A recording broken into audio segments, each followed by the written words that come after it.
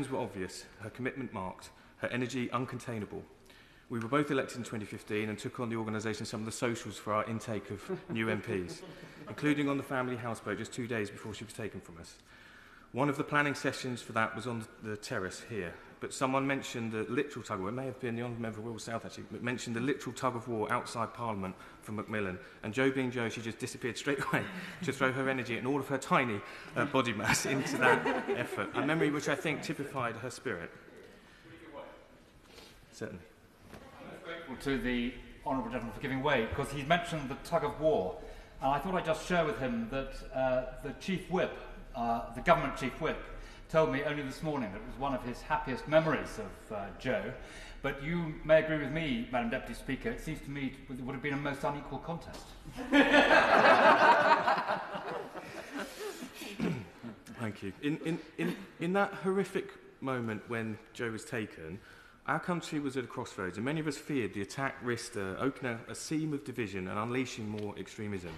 And uh, I'm grateful and thankful that the great British public saw her murder as a totally monstrous, unjustifiable act it was, and there has been unity in condemning the motives behind it, as well as an extraordinary effort to better support one another. A trait that I think has been even more demonstrable over the last year through the volunteering, the community spirit, and the pop up mutual aid organisations during COVID.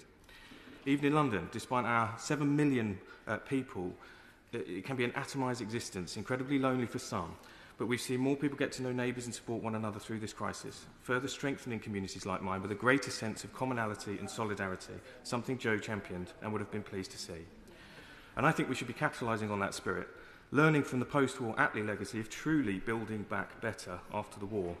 Sadly, I fear we are missing the moment and failing to deliver a post-COVID legacy that benefits the whole country in the way we all still benefit from the Attlee government's creation of the NHS, for example. But today I wanted to flag up not just that Jo achieved a lot in the short time she was here with us, but that she continues to deliver now on the issues she, and values she triumphed in her life of love. As I said, I'm very grateful to the Honourable Member Chapman Ellsford who co-sponsored the debate in, in the spirit of cross-party unity, which I think Jo also e-, exemplified. I look forward to her uh, contribution today and note in advance she was the, not, not, not just the country's first, but the world's first ever Minister for Loneliness.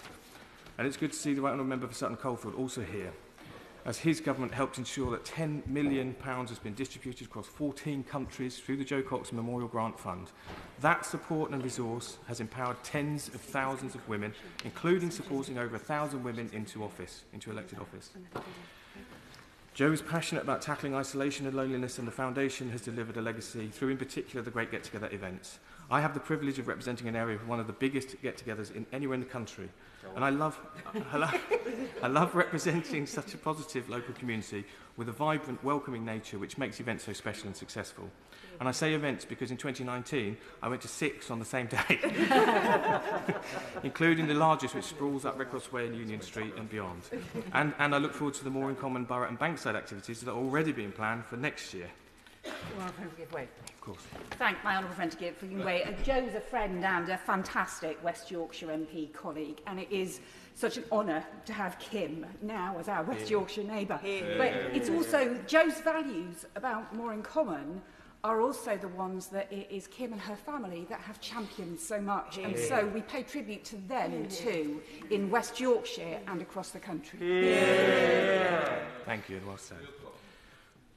Thanks, Mr Speaker. Across the, across the country, some 20 million people have now been involved in Great Get-togethers, a testament to the positivity Joe helped inculcate.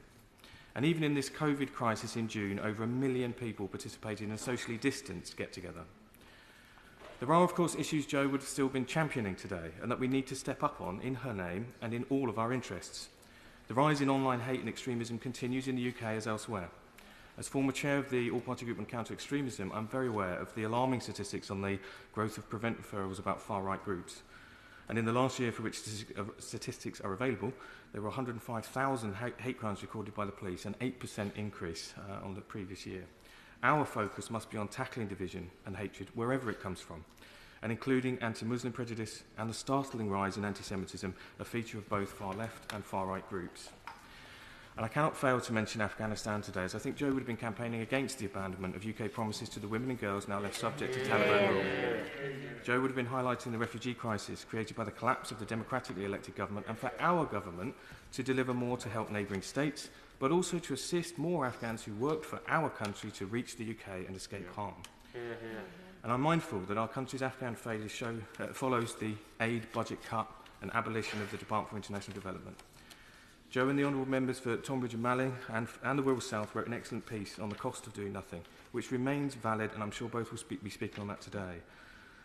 Frankly, I'm nervous that the UK looked decidedly isolated internationally, with the US ignoring us and the Foreign Office suggest, uh, suggestion in March that an alternative alliance could be built to replace American forces ultimately led to nothing but our scrambled exit uh, and, and capitulation to the Taliban. But uh, the purpose of this debate was to be positive. And before I sit down, I do want to pay some personal respects to some people who've shone an amazing beacon through some very dark times.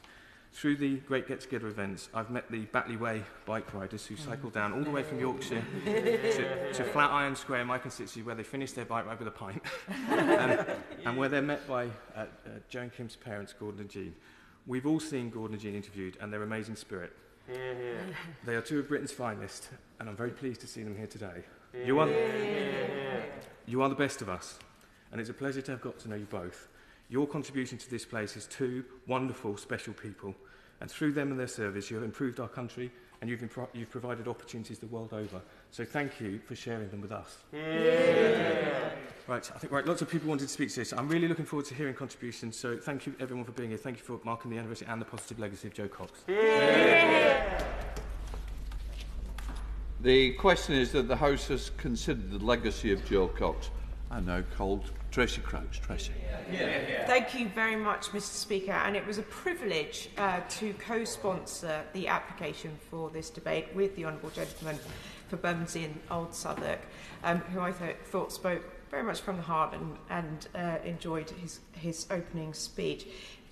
absolute honour, as always, to speak in a debate like this, um, especially one that is this afternoon celebrating the legacy of Joe Cox.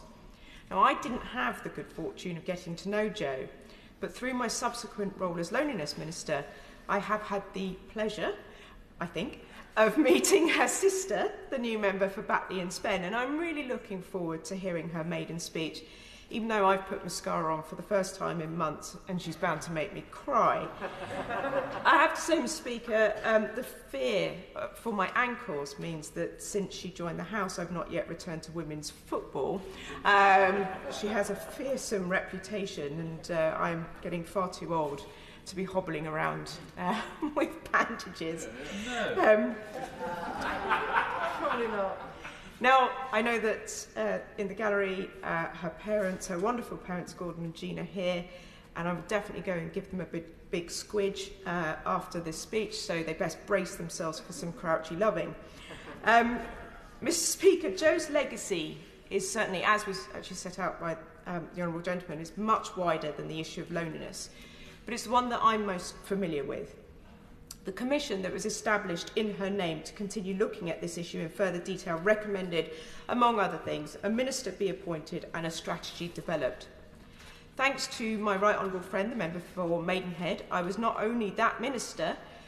but we also produced a cross-government strategy within eight months that has provided a template for discussion around the world.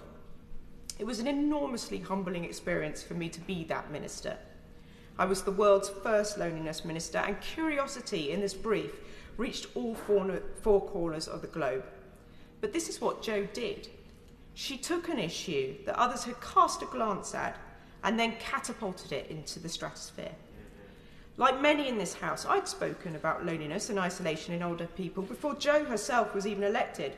But when she came into this place, she didn't just focus on the stereotype, she broadened it beyond imagination and rightly so, because loneliness, while it continues to plague older generations, younger people suffer equally crippling rates of loneliness, as do young professionals moving to cities for work, or those isolated through disability, or as Jo herself noted, those on maternity or paternity leave. Why does loneliness matter when it is a feeling that most people will experience at some point in their lives? Well, the reason is that prolonged and extreme exposure to loneliness can seriously impact an individual's well-being and their ability to function in society. As loneliness has been shown to be linked to poor physical and mental health and poor personal well-being with potentially adverse effects on communities, it was a no-brainer that we needed to work through solutions that combat loneliness. The statistics around loneliness will no doubt be quoted a lot today, and they should be. We need them to remain in the political consciousness. Levels of loneliness in Great Britain have increased since spring 2020. Between the 3rd of April and 3rd of May 2020, 5% of people, that's about 2.6 million adults, said that they felt lonely often or always. From October 2020 to February 2021, results from the Opinions and Lifestyle Survey showed that that proportion increased to 7.2% of the adult population, about 3.7 million adults. Mapping trends across the country also shows the types of places where a higher proportion of people felt lonely, often or always, and differences in personal well-being. Areas with a higher concentration of younger people and areas with higher rates of unemployment tended to have higher rates of loneliness during that particular study period. And local authorities in countryside areas also had lower loneliness rates than urban, industrial, or other types of area these latest statistics reiterate what we learned from the preliminary work for the strategy, which was that all our views about who suffers from loneliness were not always entirely accurate. As an emotion, it shows no prejudice. The chief executive fighting battles in boardrooms was as lonely as the retiree missing the banter of the workshop. The difference was sometimes who would and would not seek or receive the support or reconnection that they needed. As the statistics show, COVID has increased the numbers, but many of the solutions that we proposed in the strategy have not been available, thus exacerbating the problem. The Royal College of GPs were amazingly helpful when it came to developing recommendations, in part because they were seeing themselves an increasing number of patients whose interaction with their doctor was because they were lonely. And it was with that in mind that one of the core recommendations was to use social prescribing to reconnect people. And I genuinely believe that in the run up to February last year, it was gaining massive traction. The pandemic has been a major setback for obvious reasons, and I have one ask of the Minister today, sorry, but unfortunately, actually, there's actually two. Um, but that first ask would be that there is a major relaunch of the social prescribing programme for tackling loneliness. Yeah. We've all seen really good examples uh, of social prescribing uh, initiatives, including myself in Batley and Spen. And I think actually all of us across this health, house will benefit, as our constituents would, from making sure that that programme is relaunched. Now, my other ask of the Minister is to join me in campaigning for a wellbeing budget, similar to those in other countries, in which reducing levels of loneliness would be one target Now, I don't have enough time in this debate to rant about why a budget based just on GDP is simply not enough, but I will, Mr Speaker, be applying for a separate debate uh, on why well-being should be front and centre of our post-COVID recovery. Uh, and that includes, actually, many of the issues that I think Joe campaigned on. As Minister, and afterwards too, I've had the pleasure of meeting many people involved in supporting those who suffer from differing and often complex levels of loneliness. I've seen brilliant but extremely simple creative ideas, such as friendly benches. I've watched men solder and build things in a shed. I've done interviews and podcasts with people around the world, all of which have started with a confession from the other side of the mic that they too have felt severely lonely. I've seen pubs put up signs welcoming people in for a chat, and I've heard about businesses who support existing staff with befriending networks and others who help those retiring reintegrate into society. Every time I see a project, hear a story, or talk in general terms about loneliness, I personally find it a humbling experience, but I recognise that the progress we have made on identifying and tackling the issue is truly leading the world.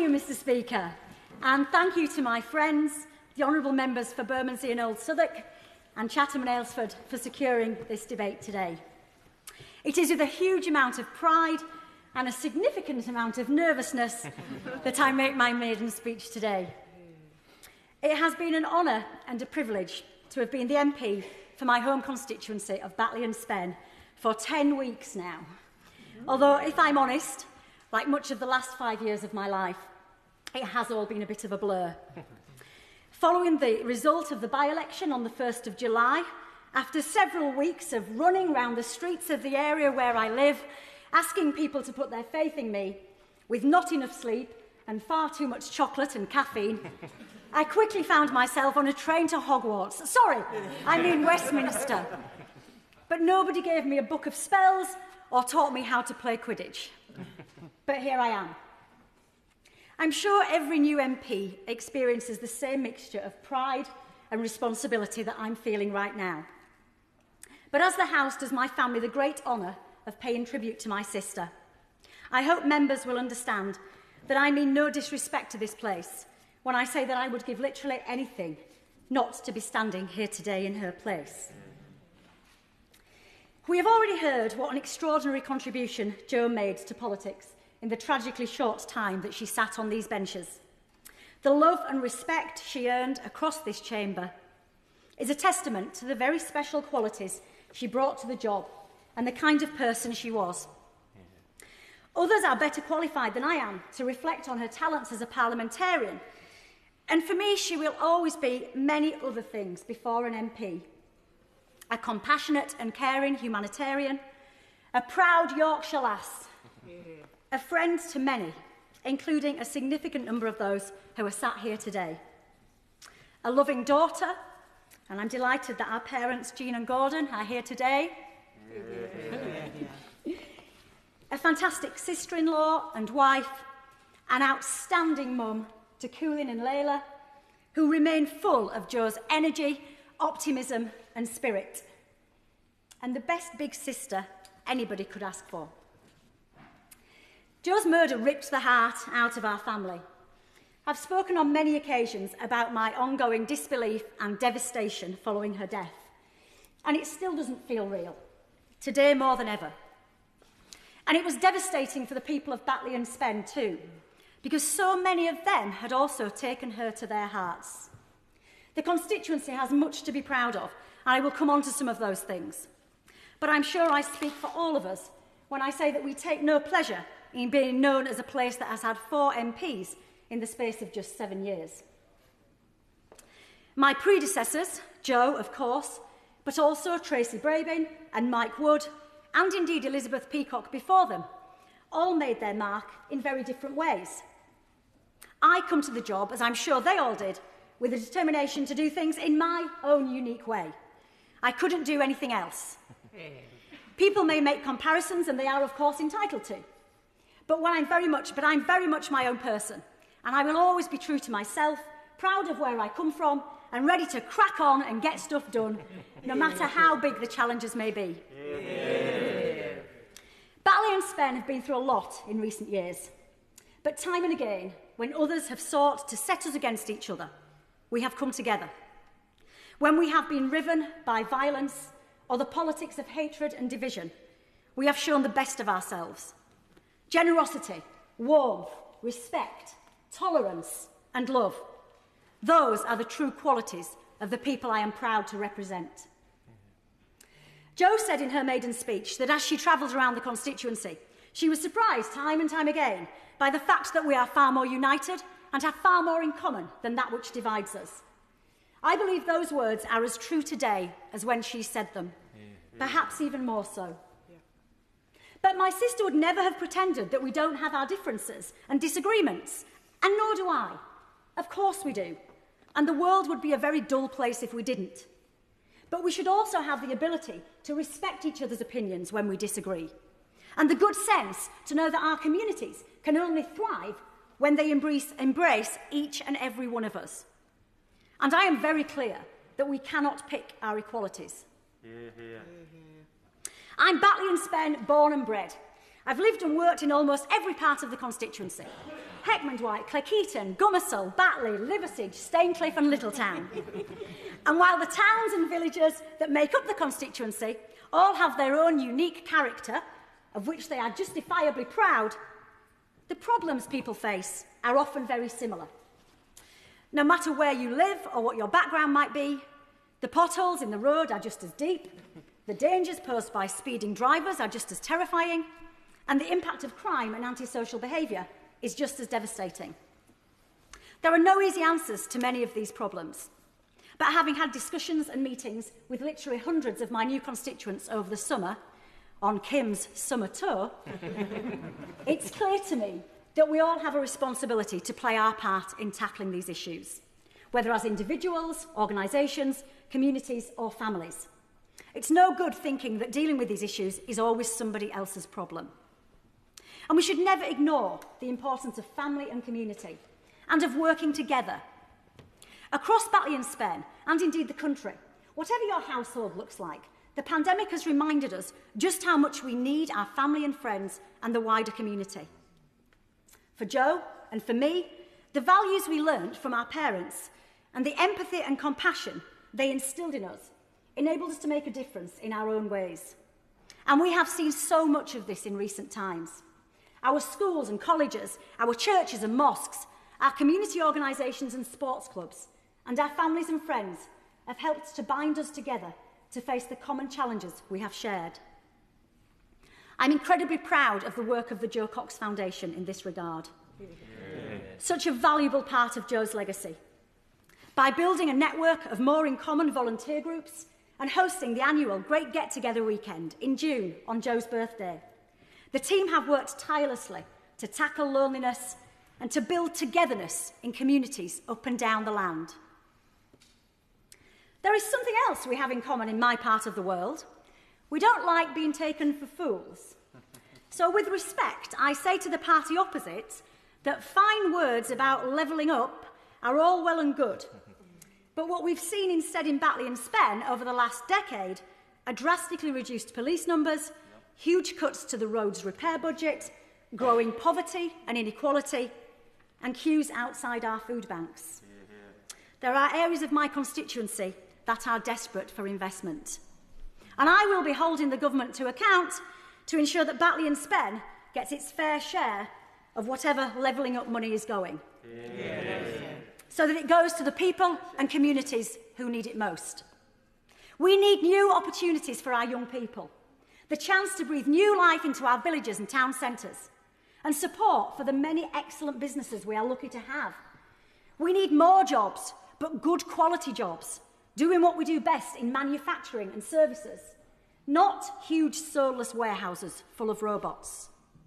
That is the only way to ensure a bright and prosperous future. That is my vision for Batley and Sven, and indeed the country. Happy, healthy, united communities, working together across the sectors to tackle our problems, supporting each other and celebrating our successes, and where everyone feels included and that they have a role to play. So I look forward to making the case for the people of Batley and Spen as their new MP. We've all had to get used to using technology to keep in touch in recent times, but I'm very much a people person, So I'm pleased that the business of the House is getting back to normal. Yeah. Although I hope with an appropriate amount of caution and without complacency. I'm told that one of the first skills I need to master is bobbing up and down to get your attention, Mr. Speaker.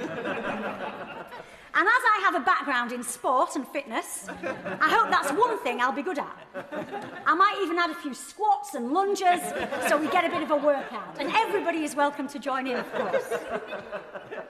And when I do get the opportunity to speak, it will be an honour to bring a bit of Yorkshire straight talking grit and common sense to the debates in this place. Yeah. Like Joe, I will be happy to work with MPs of all parties in the interests of both my constituency and the country as a whole. Mm-hmm. Indeed, I am grateful to the many members from both sides of the House who have been so generous in welcoming me here.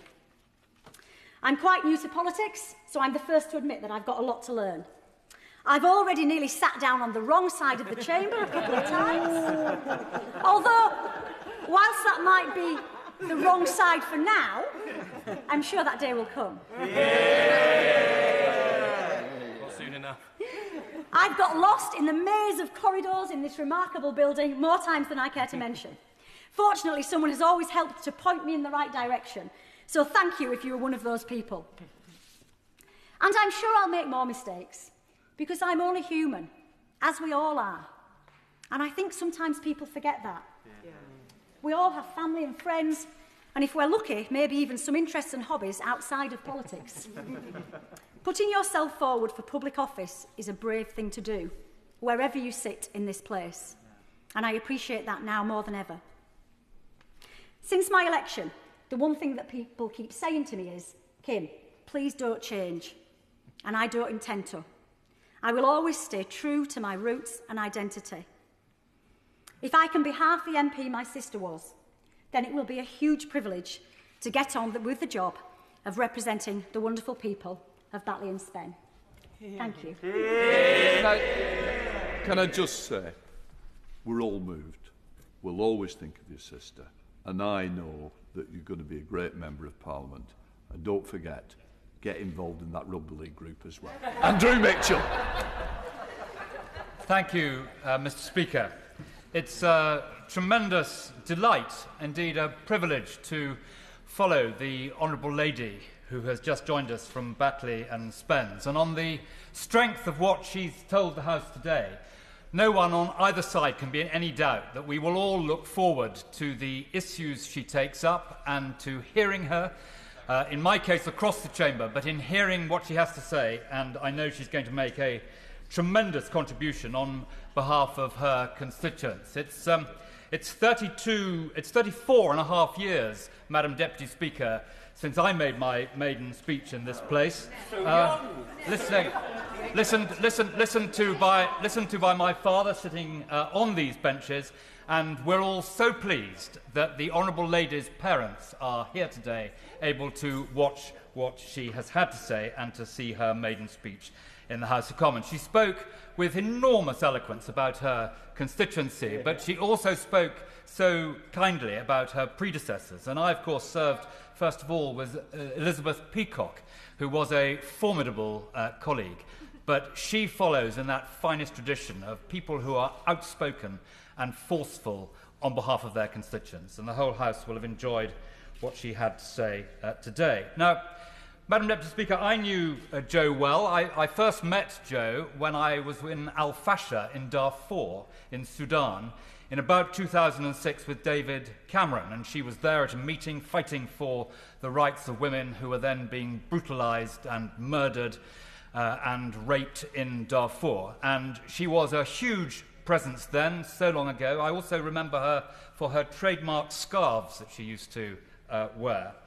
And uh, she approached me when she was elected to this house and asked me uh, whether I would join with her in co chairing the Friends of Syria, which I continue to do with the uh, Honourable Lady for Wirral South. And she came along and said, would, would, I, would I join her? And in doing this, I said I'd be delighted. And we worked together very closely in, in trying to deal with that huge humanitarian crisis, which saw more than five million Syrians uh, on, on the move. And I uh, remember so well going with her to have tea with the Russian ambassador.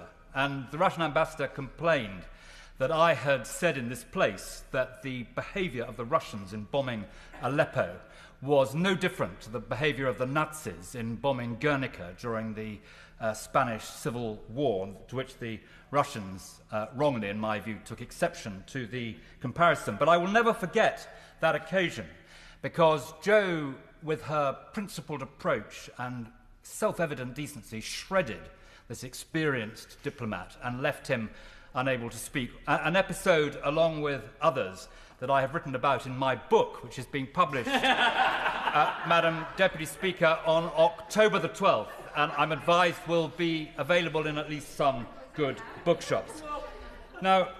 um, Madam Deputy Speaker, Madam Deputy Speaker, on the occasion uh, when uh, this House met following the murder of the Honourable Lady's sister, it fell to me to uh, make the main tribute from the opposition backbenches on that uh, occasion. It's one of the most miserable occasions in nearly 35 years I have uh, had in this House.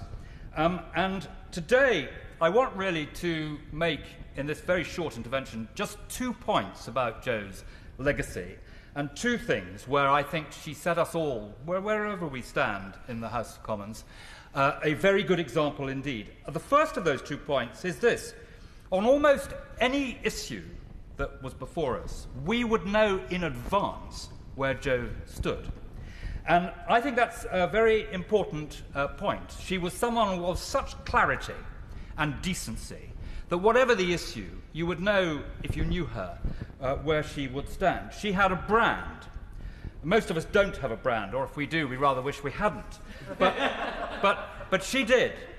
And I think that's something which all members of parliament should aspire to.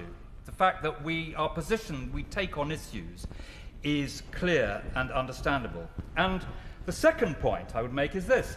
Uh, Joe was an example of something the public don't always appreciate about this place, but which sees this place, in my view, at its very best, and that is working across party on finding issues where you have agreement with those who may, in many other areas, have a different political opinion uh, for you, from you. And she epitomized the principled uh, clarity of views and beliefs, which mean it's possible on so many occasions, not just in uh, select committees or on all party groups or indeed on other ad hoc groupings, which this place has in abundance. But it, it, it's one of the best aspects, in my view, of the House of Commons, and one that is when it comes to light, is most appreciated by our constituents. That actually, where it really matters, we can work together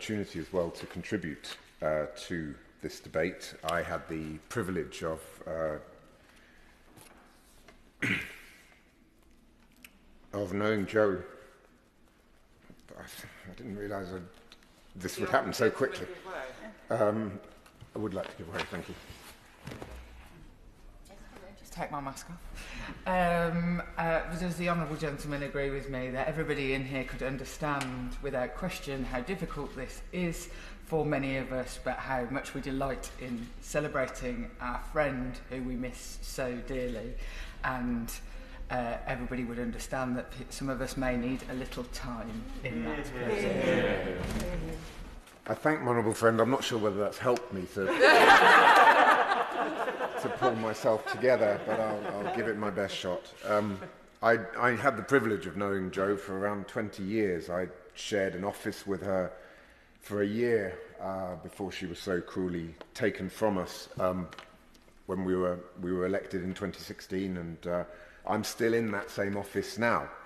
Um, and I can tell you there's, there's not a day uh, that goes by when I don't think of her hurtling into our office in her cycling gear, having a chat with my staff and, um, you know, talking about one of the most amazing campaigns that she would be working on. And they were wide-ranging campaigns, from reducing loneliness in society to standing up for refugees to fighting for the Labour Party's values and Britain's democratic values and compassionate values internationally. Joe was truly driven by giving a voice to the voiceless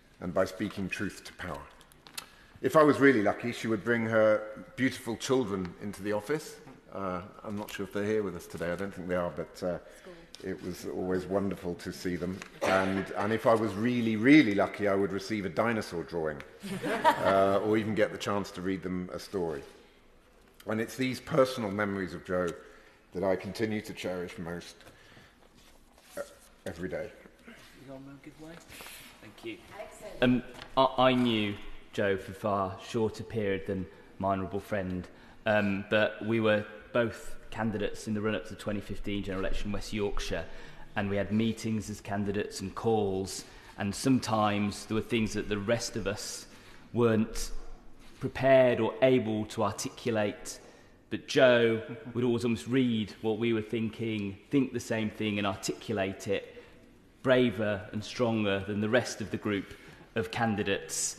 And you could see that bravery and strength after she became an MP and actually in the legacy and the foundation and what happens now. And we can all learn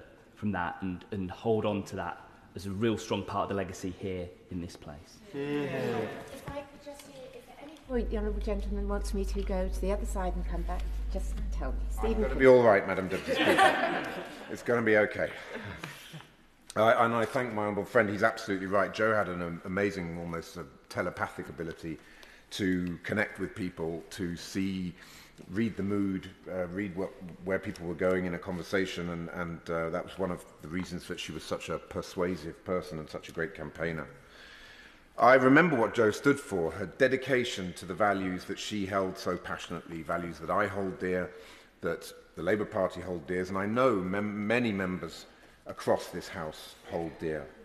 These values represented the very best of our country, compassion, community, solidarity, internationalism, and a belief that our great country can be greater still.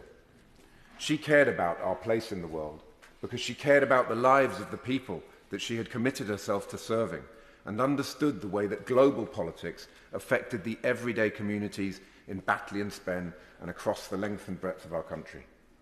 Jo was an internationalist to her fingertips, believing that we can do more good by working together with our friends and neighbours than we could ever do on our own. She wanted Britain to continue to be an open, tolerant and generous country that engages with the world with our heads held high high instead of turning our backs on it.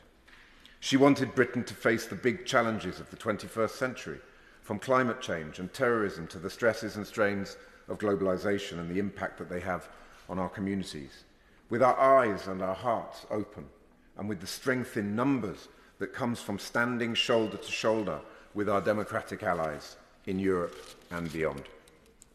The years that have passed since Joe's death have been difficult for Britain politically, but I've always taken inspiration from the core messages that she sought to espouse through her politics.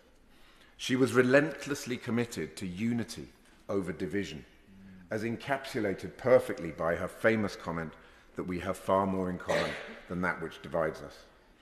But she also believed passionately in standing up for what was right, and she always spoke truth to power. Mm.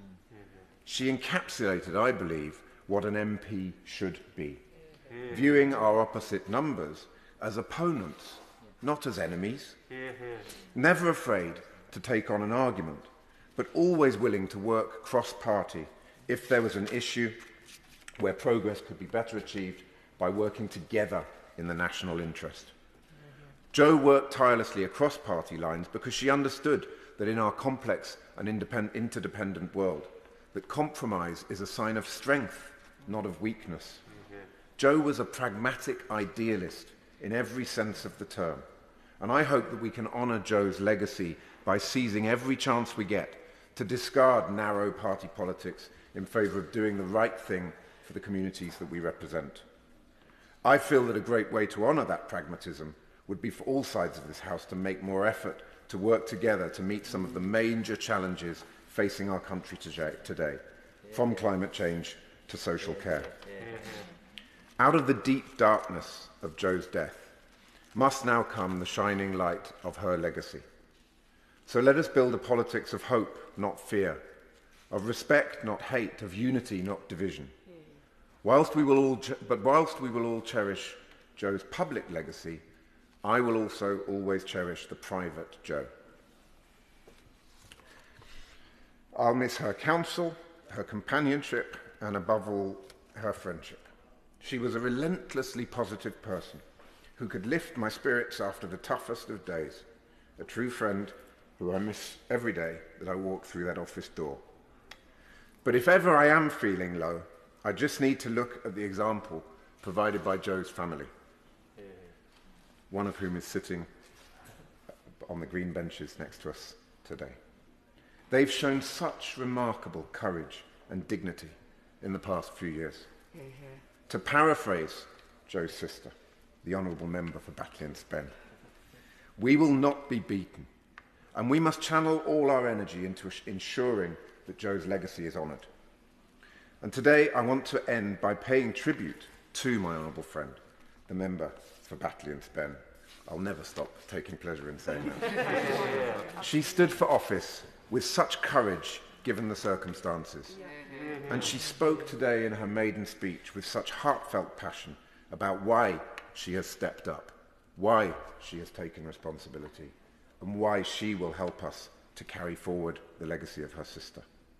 I know that she will serve those same Batley and Spen constituents with the same grace, commitment, goodwill, and determination that Jo did before her. And she needn't worry, because whatever happens from this day on, my word, she has done her sister and my friend and this House proud. Thank you, Madam Deputy Speaker, for calling me despite me charging in um, barely a second late. You may think that's because my timekeeping is poor, but actually it was a tribute uh, to my friend Joe Cox, who, in my recollection of working with her for a very brief period, was almost always begun with a crashing door a burst of colour and a, uh, I'm sorry I'm late. In those moments when she would burst in, she brought with her, as many have already said, an extraordinary ball of energy, an extraordinary passion, an extraordinary strength that I'm delighted to see has returned to this house in the Honourable Lady for Batley and Spen. She's demonstrated that the family that gave birth to one extraordinary individual and raised her, has achieved it a second time. And for that, I pay the most extraordinary tribute to a fantastic, a fantastic mother and father. Now, I'm going to share with you my experience of working with Joe because together we put together almost all of a paper on the cost of non intervention. Because we'd seen both of us in different ways, the impact that intervention, military intervention in my case, humanitarian in hers, had had on lives around the world. We'd seen the problems in Iraq, we'd seen the failures in Afghanistan, and we were aware that in many parts of the world, and including in the United Kingdom, there was a desire, almost a hope, that we would never do it again, that we could turn away, that we could look past and pretend it wasn't happening but we can't. And she knew that. Because what she also brought to this place was the reality of a lived experience of somebody who actually knew the cost, who really saw the price, whether in Darfur or in Syria, who knew what it meant to the lives of the most vulnerable, the most at risk in countries around the world. And so together, we pulled together most of the paper, The Cost of Doing Nothing, which was published by Policy Exchange. But sadly, before it was able to come out, before indeed it was fully finished, we know what happened. And that was a, it was a terrible moment, I'm sure, for everybody. And my memory of it was phoning her number many times and sadly, like everyone else, getting no answer. But after that, I have to say I pay huge tribute to my friend, the Honourable Member for Wirral South, for the extraordinary courage she showed in taking up the work that had been done, in not imposing herself on it, but ensuring that what was published was in keeping with the words that Jo herself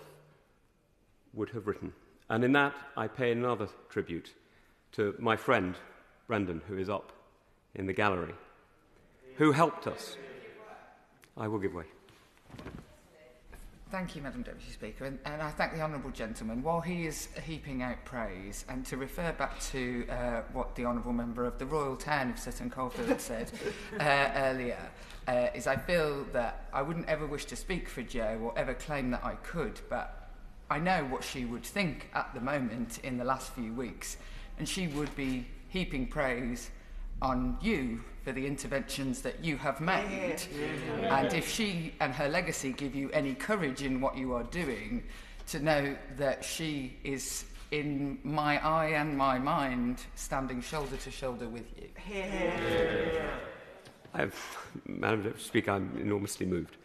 Um, and as somebody as my girth and size knows, that's quite hard to achieve. it's, it has been in thinking of the work that we did together that I have been motivated and, and given strength to speak out in recent weeks because I know that these are not political issues in the narrow sense. These are issues that I think unite the core of our country.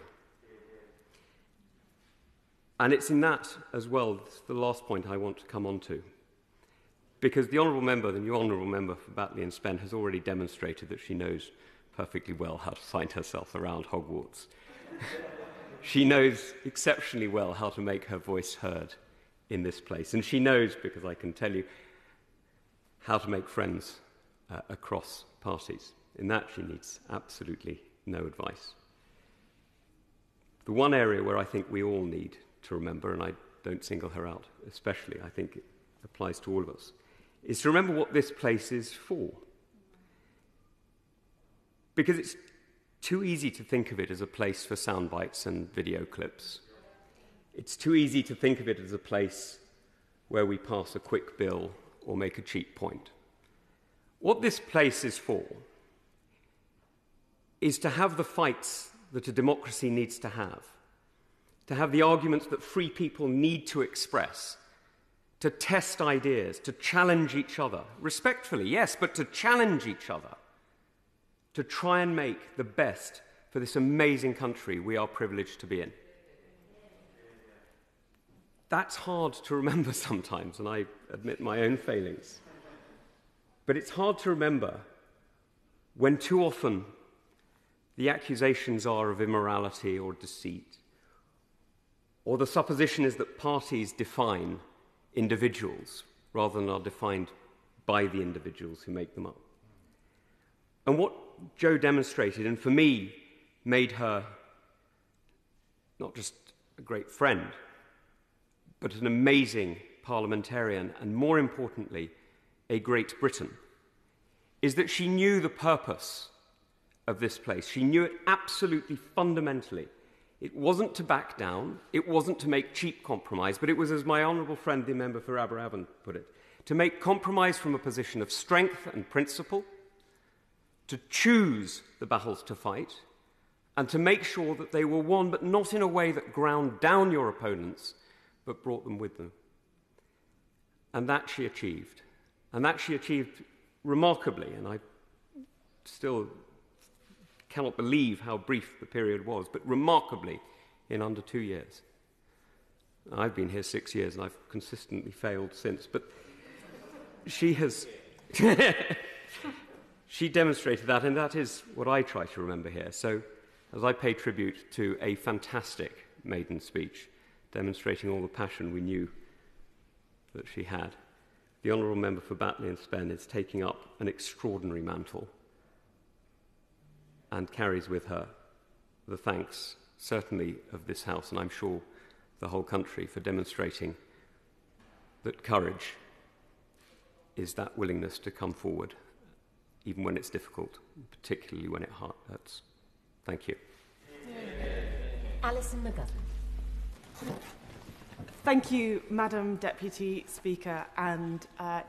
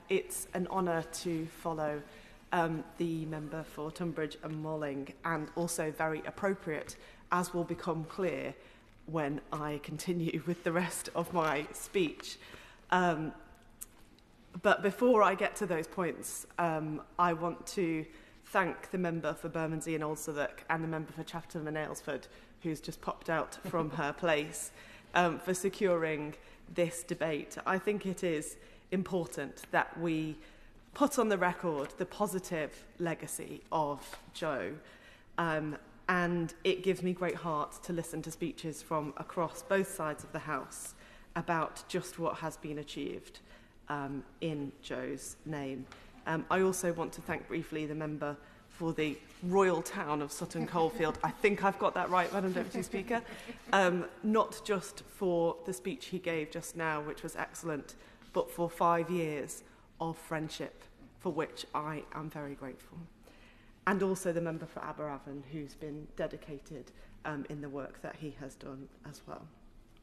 Madam Deputy Speaker, today's debate marks five years since the murder of Joe Cox MP, then the Member of Parliament for Batley and Spen. And she was a Member of Parliament um, for a short time, but her life had already shown, even before she came to this place, just how much good could be done by a person with a simple determination to serve those in the world who needed her.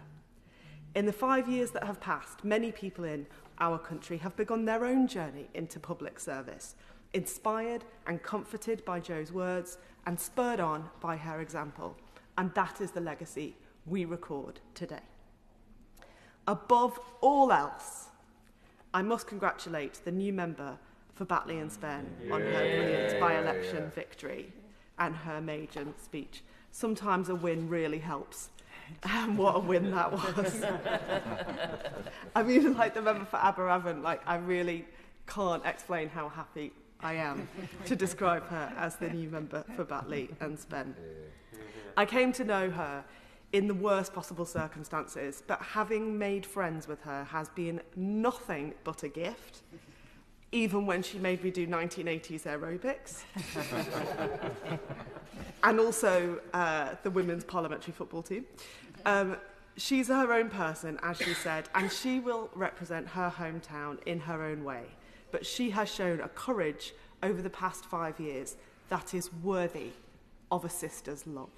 Mm -hmm. To Brendan, Coolin, Layla, Jean, Gordon, all of Joe's family and friends, I say thank you for all you've done. You have been a light in the dark.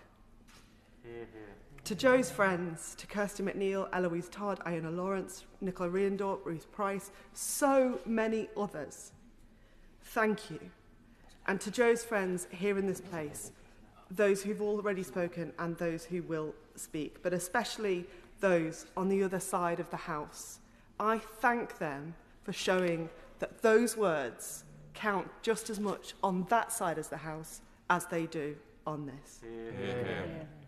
And finally, to everyone in Batley and Spen, thank you for putting up with us during the by-election. um, the towns of Batley and Spen are rightly known across the country for the care and kindness they have demonstrated. So today's debate is a chance for us all to reflect. We reflect on Jo's life and the contribution that she made to her own community and to our whole country, and the efforts that Jo's family and friends have made on tackling loneliness, the role of women in society and in politics, and on the humanitarian imperative. Madam Deputy Speaker, others will rightly talk about Jo's legacy in our country.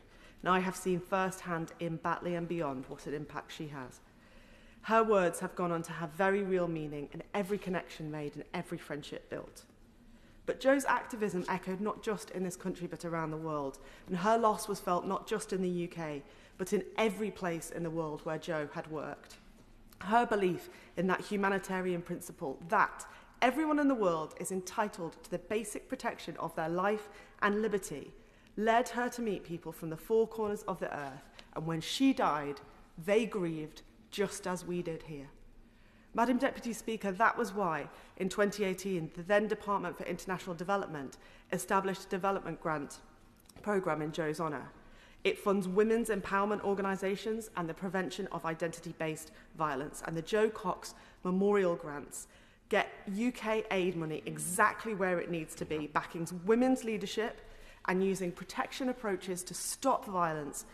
before it escalates. Yeah, yeah. That humanitarian principle that Joe fought for is made real by this work. And I want to thank all of the civil servants in DFID, as was, and FCDO now for working so hard to make it happen. And though she's not here, also the member for Portsmouth North, who played a leading role. Yeah. In other aspects, however, we, we must all go further. And I have met many Syrians in the UK who spoke with Joe in the year that she served in this place when she gave voice to the horrors taking place in their country. They miss her now, just as I do. And in truth, life for Syrian civilians has worsened year after year. From Aleppo to Idlib and all over the country, civilians are displaced and forced to live in deep fear for their families. Madam Deputy Speaker, it goes on and on. Joe advocated for a strategy to protect civilian life in Syria. And five years later, that is what we are still crying out for from the international community. Joe spent a decade campaigning for global acceptance of the responsibility to protect doctrine and looking events at events in Syria since she was killed – It is clear that she was right to do so. On Syria, Joe said that we must put the protection of civilians at the centre of our foreign policy and not sit on the sidelines whilst hundreds of thousands more are killed and millions flee for their lives. And she was right to say that. That which Joe feared has happened since, and it's happening right now. The International Crisis Group reported that in Daraa province in the southwest, the regime has throughout this month renewed attacks on Daraa City's besieged Al Balad neighbourhood, where fighting killed at least 32, including 12 civilians, and displaced 38,000 people by the 24th, 24th of August. That isn't five years ago or 10 years ago. It's two weeks ago. And the UN Special Envoy for Syria, Geir Pedersen, on the 12th of August, warned that civilians face shortages of basic goods and the, the near siege-like situation must end. Ignoring starvation and terror in our world won't make it go away. And as the member for Tunbridge and Morling and I published in the pamphlet that he should have published with Joe knee jerk isolationism is not in Britain's interest yeah. any more than it is in the interests of those in the world who need our leadership. All it does is make us look powerless in the world and careless about the international norms that we helped to create. The argument that Joe made in this place that we have a responsibility to use the tools at our disposal, be they diplomatic, development, or defence capabilities, to protect where and when we can, was the right argument, and it has rung ever more true over the past five years than on the day that Joe made it. However, I believe in the public response to the Afghanistan crisis now, we are seeing Joe's legacy. As Joe said, she had met battle weary elders of Afghanistan and understood the impact of conflict. When she was killed, then Chancellor George Osborne credited her with changing both attitudes and policy when it came to refugees. He said that she would never know how many people's lives she had changed. And he was right, Madam Deputy Speaker. So finally, in conclusion, let me say this. In Joe's honour now, we all have a duty to see the common humanity we share with those who are the victims of conflict, not of their making. Whether in Afghanistan or Syria or elsewhere in the world, There will be circumstances which cause humans to flee. Our country should be proud of every person who finds safe refuge here. As Joe's friends and family should be proud that her defence of refugees made people think again and, crucially, change the minds of those in power. That, Madam Deputy Speaker, is Joe Cox's legacy. Our responsibility is to live up to her principles. Yeah. Yeah. Danny Kruger.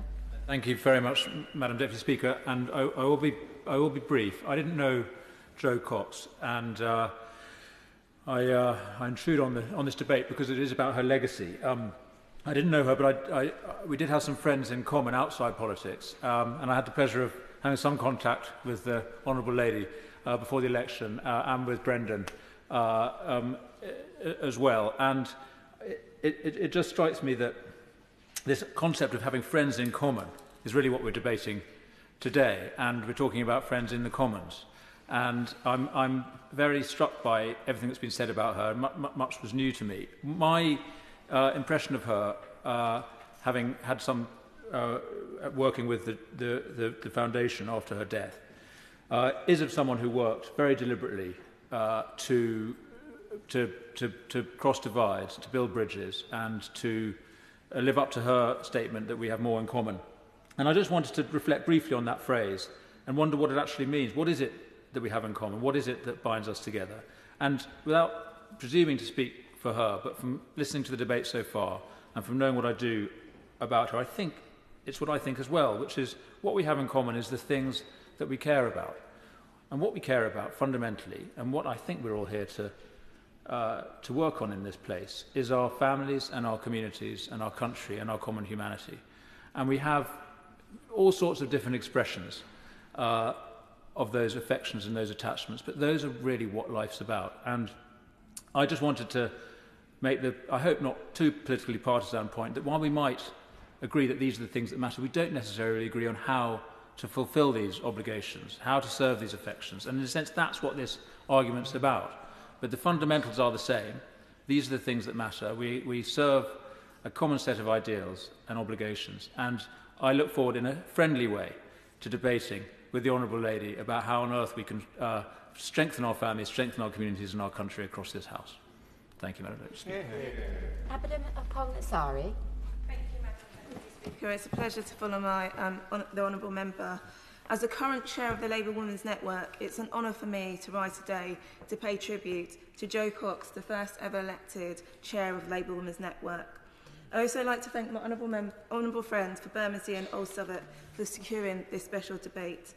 I speak today, despite the fact that I did not know Jo personally. From hearing friends speak, I regret this considerably.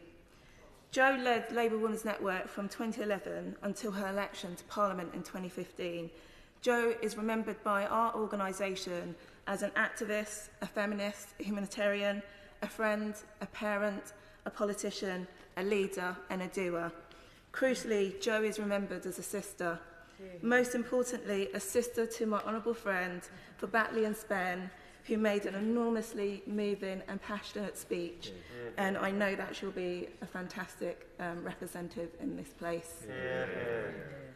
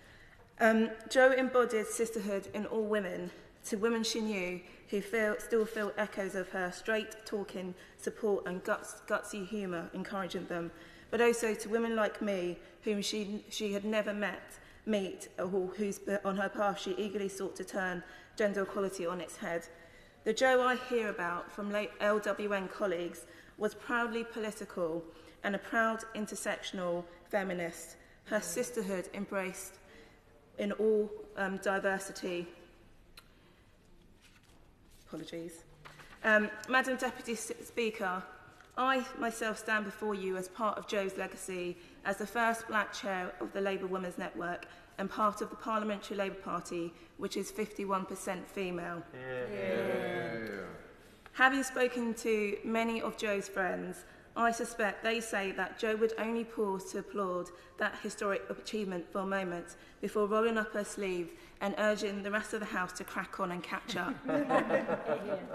Jo herself said one of the reasons that I'm entering politics is because only 23% of the House of Commons is female and if women don't make that 50-50 then people take decisions about our communities are never going to be reflective of the needs.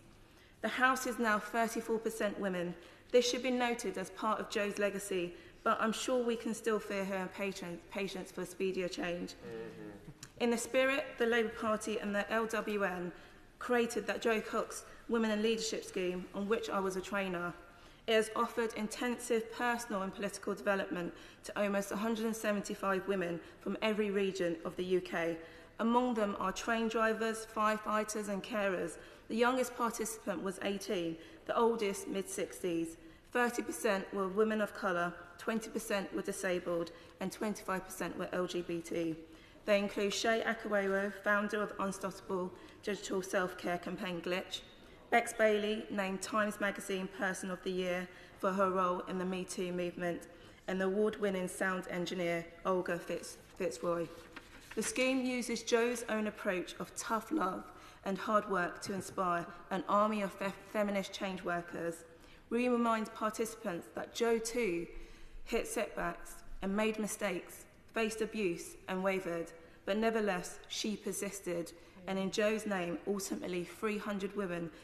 graduates of the scheme will likewise, likewise persist. Mm-hmm. Few women graduate from the scheme without internalising the voice of its architect, Nan Sloan, reminding them to get into the room, take up the space, take politics seriously, and never apologise for yourself.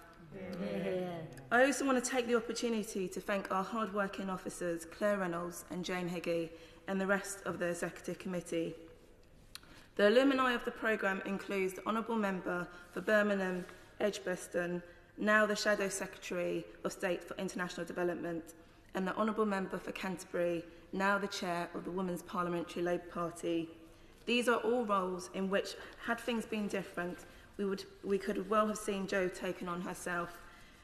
We hope that she'll be proud to see the graduates of the leadership scheme ably carrying the batons. Madam Deputy Speaker, as the years pass, Jo's colourful legacy continues to grow brighter. We see it in the Jo Cox Foundation, which leads incredible work in her name.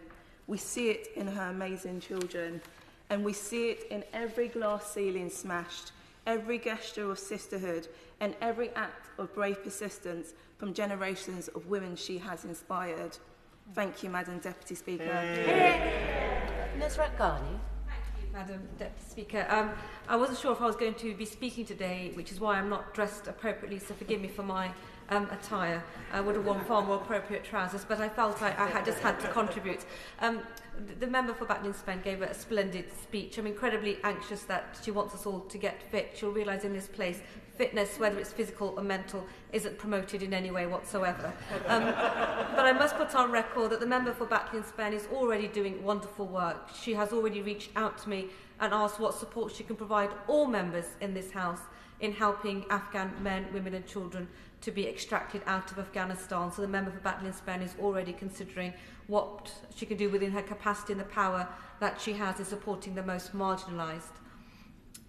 I'm not sure what more I can add um, in, in reference to Joe that hasn't already been said because I agree with everything that's been said so far.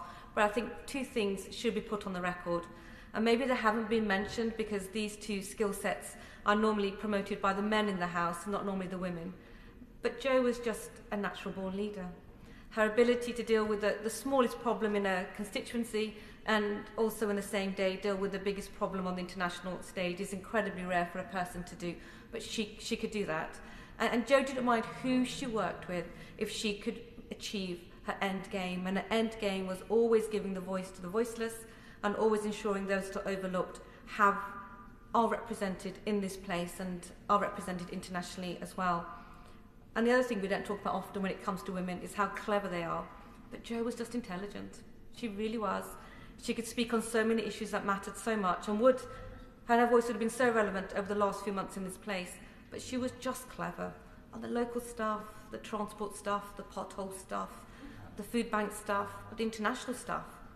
the terrorism stuff, um, the humanitarian stuff, you know, stuff around issue, issues around China, Russia, the Middle East. She just knew, knew so much. And quite often it's very difficult as a woman to come across cleverer and also to ensure that people will still work with you. And Joe had the skill to do that. Um, Joe and I had um, a few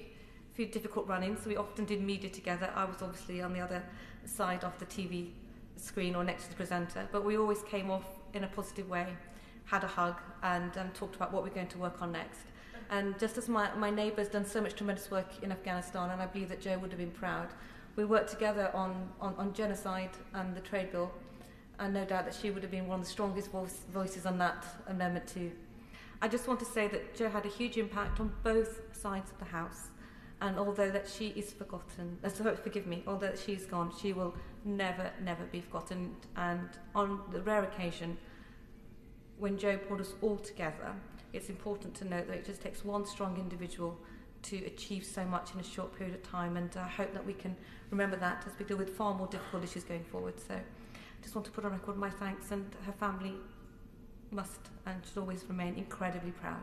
Thank you. Yeah. Anne McLaughlin. Oh. Uh, Madam Deputy Speaker, despite being elected on the same day as Jo Cox, I cannot say that I knew her. I knew who she was, and in the months after she died, I almost felt I did know her. I certainly felt I should have known her, but I didn't. However, I, I wanted to be here today, along with my friend and colleague, the Honourable Member for Glasgow Central, to pass on the love, best wishes and solidarity from my party to her friends and family and the communities who no doubt still grieve her loss. We are far more united and have far more in common with each other than things that divide us is worth repeating. That, of course, was what Jo said in her maiden speech, and she was right. I shared Joe Cox's positivity about human beings and their capacity for humanity, but it's not always easy to stay positive about that. And she's one of the people I always think of if ever I start to feel cynical.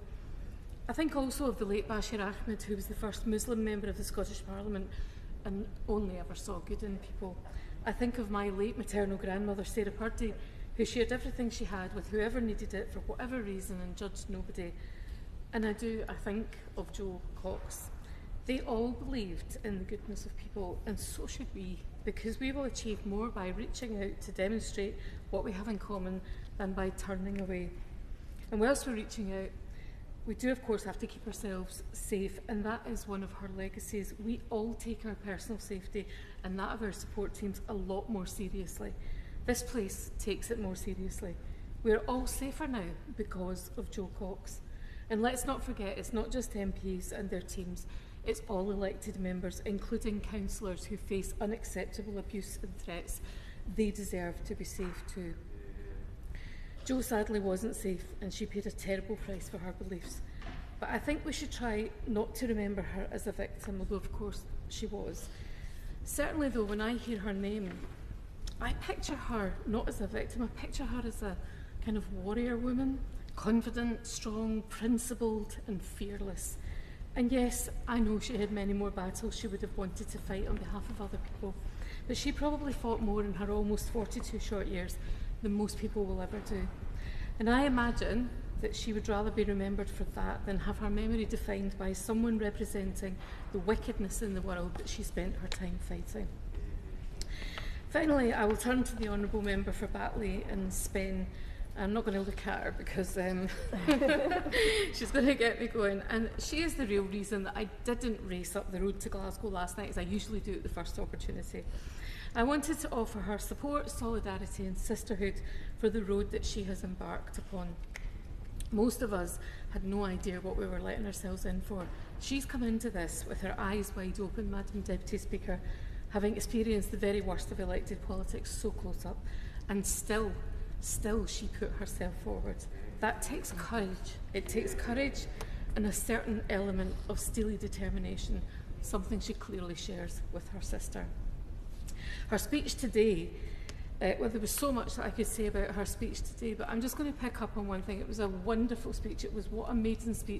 should be and wide-ranging, but I'm just going to pick up on one thing that I really loved, and it's the way she says the name of her constituency, Batley. I don't know if anyone else has noticed this, but she never says Batley. She says she puts the battle into Batley, and it's wonderful to hear. But her speech today, and the way in which she conducted herself in the days and months after Joe's death, and the way she handled what looked like a pretty nasty by-election, and incidentally, as a member of the SNP, I wanted to know that I cheered out loud when her result came through. These things all demonstrate that she is more than Joe's sister and that she will be a formidable member of this House in her own right. And I wouldn't dream of telling her what to do, but I do want to say that however she wants to approach this role is exactly how she should approach it. If she wants to spend her entire time in here doing what Joe would have done, that's not a bad shout, but she's already let us know that she wants to plough her own furrow, and that is also a good thing. I feel sure I won't be the only one saying that to her, and I do hesitate because I don't, we don't know each other, so who am I to give advice? But I just want her to know that she is her own person. She won that by-election because she is Kim Leadbeater. She should be every bit as proud of herself for that as she is proud of her sister and her sister's wonderful legacy. Lambos Chair Lambos. Thank you, Madam Deputy Speaker. There are very few backbench MPs who will have a lasting legacy and after they left Parliament, but Joe Cox is one of those people. Uh, I never knew Joe, uh, but from the fondness with which she's remembered by colleagues, I know that she epitomised all that is goodness and inspired us to be kinder to each other and care about everyone in our communities. And on the issue of communities, uh, I campaigned for my honourable friend, the member for Batley and Spen, Uh, and it was quite clear that she was everywhere in the community. I even met somebody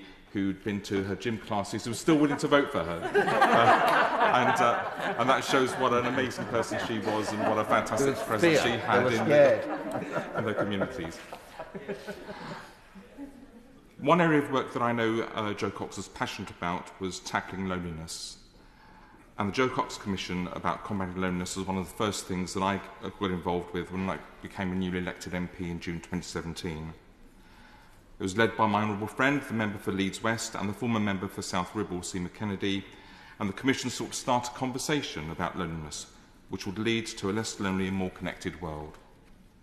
And this, is, this work is absolutely crucial, and it's more relevant than ever Yesterday I had the pleasure of meeting some of the COVID bereaved families and listening to their stories about lost family members and loved ones. There was a woman who told me about the physical and mental impact of losing family members, which was then compounded by the loneliness she experienced as a result of race lockdowns. Another told me the inadequacies of bereavement support services, and I'm sure that we all know people who've struggled through loneliness during the pandemic and in bereavement.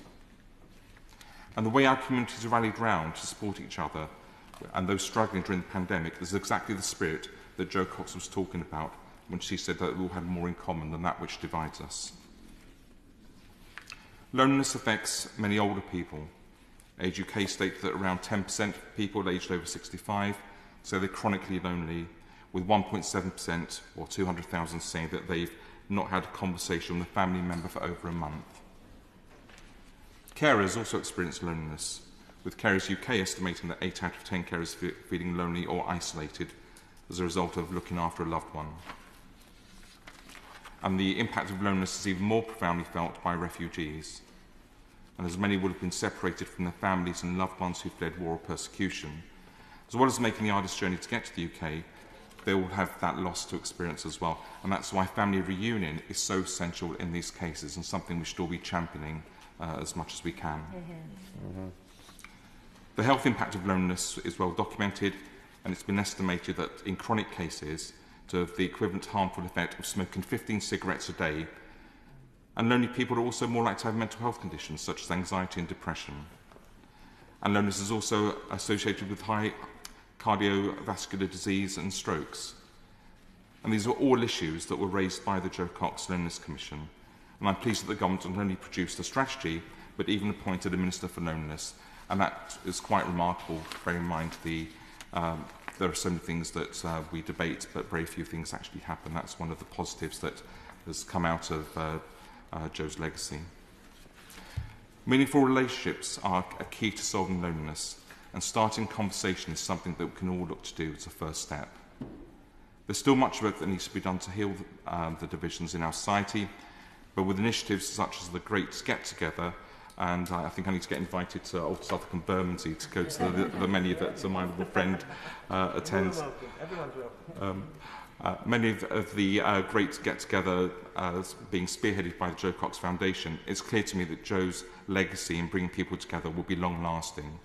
And as this debate's shown, Joe Cox was the best of us and will continue to be an inspiration to us all. Thank you. Thank you. Yeah. Rosie Duffield. Um, thank you, Madam Deputy Speaker. It's a real pleasure to follow the new member for Batman's Bend in her incredibly moving maiden speech and the fact that she won on my birthday was just a great birthday present. I wasn't lucky enough to know Jo or to be able to call her a friend.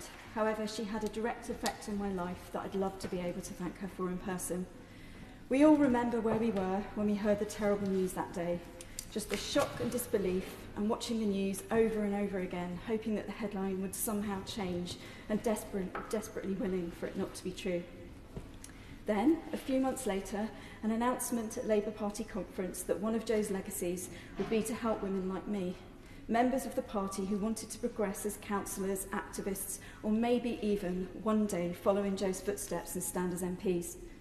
The Joe Cox Women in Leadership scheme was launched – and I applied at midnight on the deadline day, as always, and didn't expect to hear anything back, but at least I'd tried.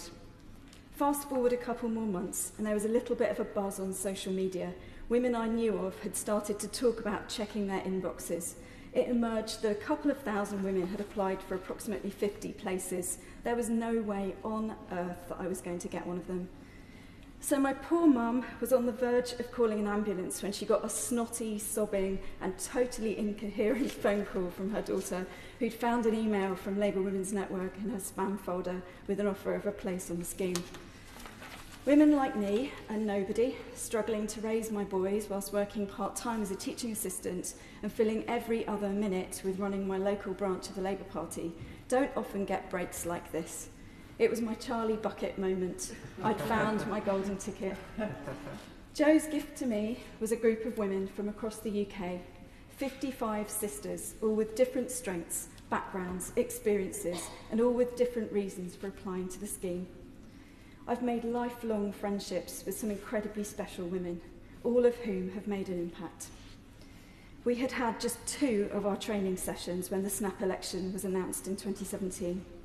I had sat with the member for Camberwell and Peckham in a hotel bar, told her that I was thinking I might practice standing as an MP in 2020 in an area that she knew well. We joked that it was never, ever in a million years possible for Canterbury to be anything other than the safest conservative, conservative seat in England. So with absolutely nothing to lose, I practiced standing in 2017 with that brilliant group of women there on my phone 24 7. Ten of those women stood for Parliament in 2017,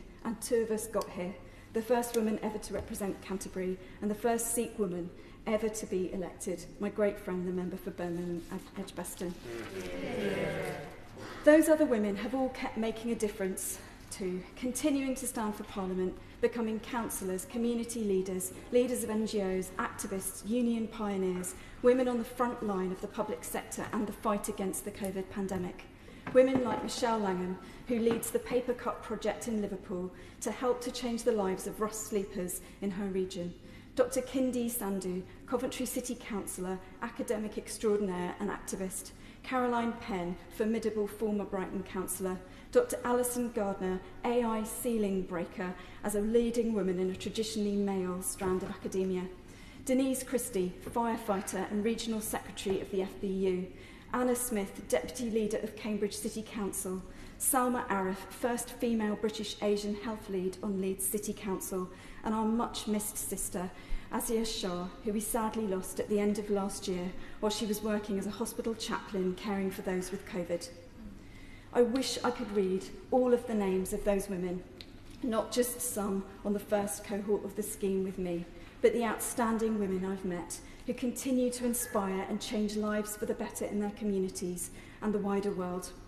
All of us owe our thanks to Jo, not just for the incredible opportunity her legacy has given us, but for the lead she took and the work she did for humanitarian causes around the world and the women who undoubtedly would be worse off if she hadn't shone a light on their needs. Mm -hmm.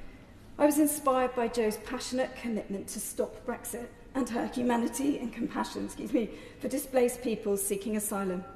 And I am certain that she would stand here today and make her views heard on the idea of sending people in boats back to direct harm. Mm-hmm. Joe talked about what we have in common, and that is something that inspires me every single day of my life. One thing I've had in common with Joe is our friendship with a member for Bermondsey and Old Southwark, who has always been a great support and encourager a joker and a fantastic ally. Thanks to him for securing this debate today so that we can remember Jo, and to thank her for the real difference she brought to so many lives.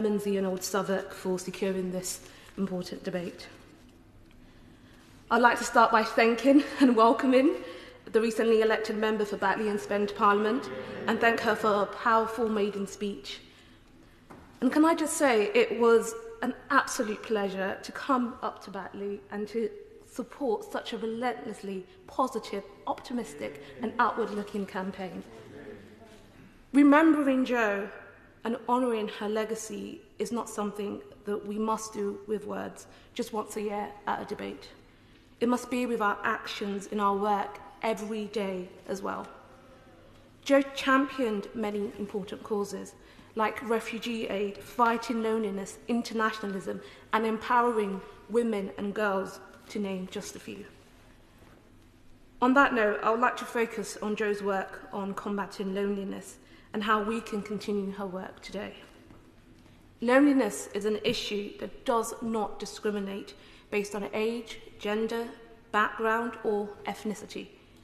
It is often debilitating, damaging to our mental health, and can affect us all equally. Almost from the beginning of Joe's parliamentary career, Joe worked to bring to light the causes and effects of loneliness so that we may better understand and tackle it. She co established a cross party loneliness commission with Seema Kennedy to do just that. This commission brought together 13 organisations to highlight the scale of loneliness across all areas of society and at different stages in everyone's life. It is partially because of the awareness of this commission brought to, it's partly because of the awareness this commission brought to loneliness and mental health more broadly that the issues of loneliness receives greater consideration and resources today. But it, there is still much work to be done. And the Joe Cox Foundation, which campaigns relentlessly to combat loneliness, cannot do it alone. In my own patch of Coventry North West, we have seen grassroots community groups work to ensure that no one in my community feels alone. During the pandemic, as we were all social, socially distancing, loneliness and men poor mental health became a more pressing issue. So these groups stepped up to stop the spread of loneliness. The Hallbrooks Community Centre in my constituency has organised many community events and provides a safe space for residents to come together and socialise.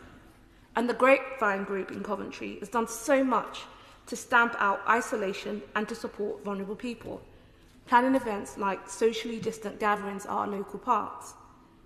And with our high streets and town centres struggling, the government must look at more innovative ways to empower groups like these.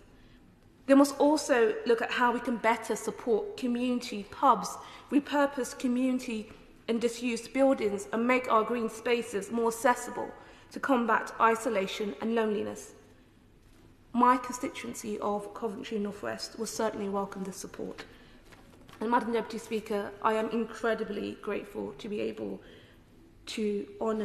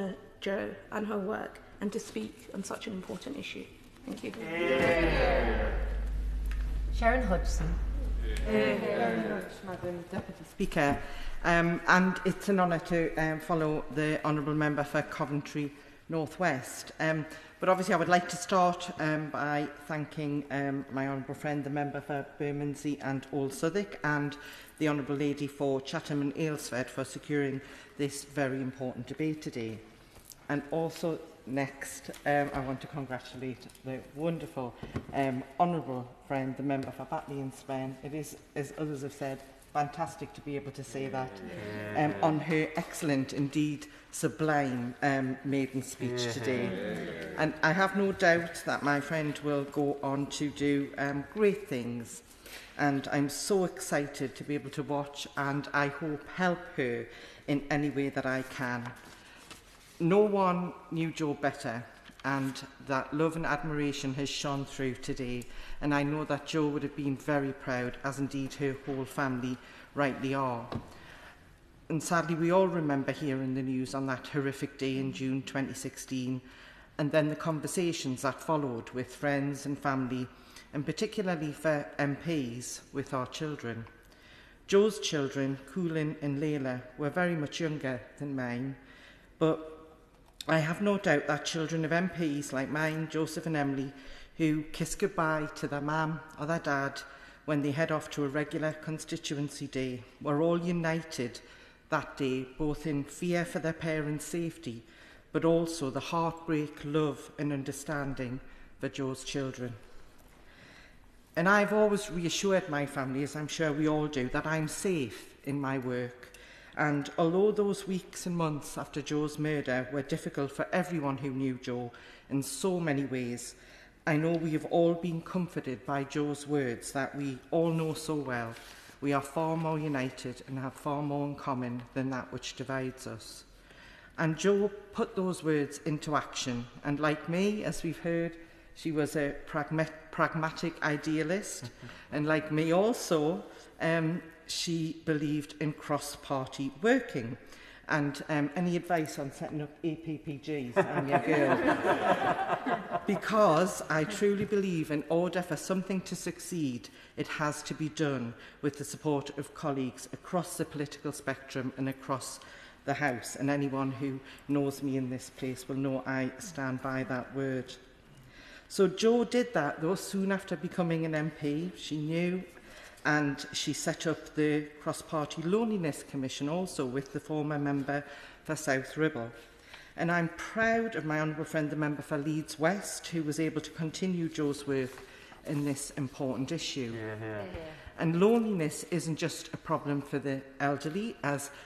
the Honourable Member for Chatham and Aylesford referred to in her excellent contribution, and as I discovered when my daughter went off to university where although surrounded by many young people, she was desperately lonely and felt very isolated for the first few months.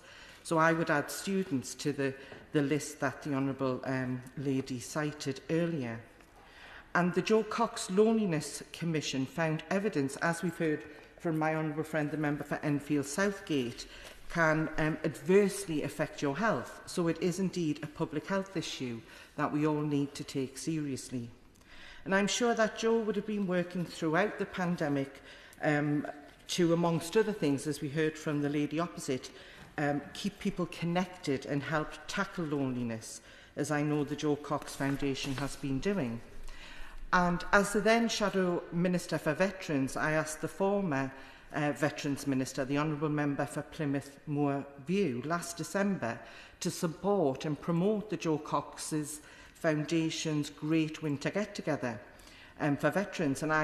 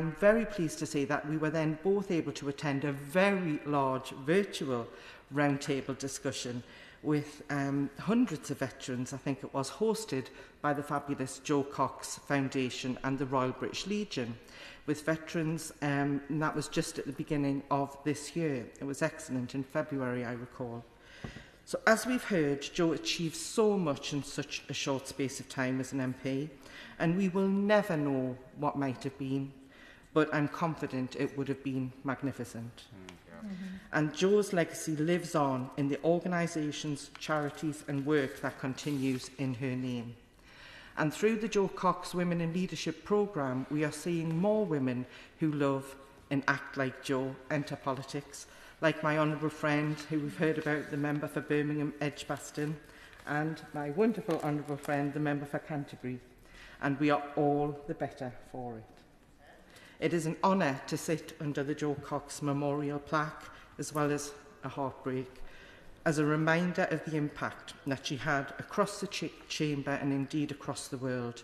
And it's our duty to ensure that Joe is remembered and that that legacy lives on which on days like today, I am confident that it will.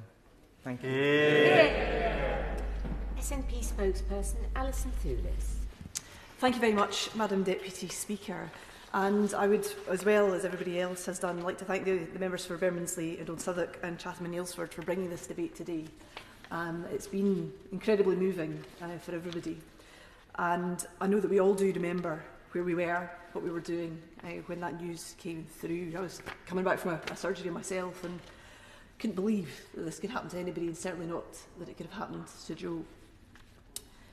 And I was reflecting uh, and thinking of this this week of, of the day when we all came back here and the memorial and the tributes that were paid and how we, how we all felt that day as well. Um, sitting there, I was sitting there up the back and couldn't take my eyes off um, Brendan and Cooler and Leila up in the, in the chamber there. There's tiny wee bits of children and to feel so, so awful for them about what had happened. But I think what we all can agree that we all think of them, we all keep them in our hearts, and that they would be incredibly proud of the legacy that their mum has had and the things that she has done, and that we still here today in this place that so many of us have come to remember her and to thank her um, for what she has done. And it's interesting that this, this house does remember her often and speaks of her often. And I noticed in the, the library briefing that was sent round, because um, I, I had tried to search this myself and couldn't quite do it, so I'm glad that they had, that the library says that that her name uh, had been mentioned 129 occasions in this parliament, uh, uh, just in this, this session since the election, um, and prior to today, obviously, which is, is many more mentions. And that really does reflect that while she may not be in here, she is always with us and always in our thoughts. And I think that is important.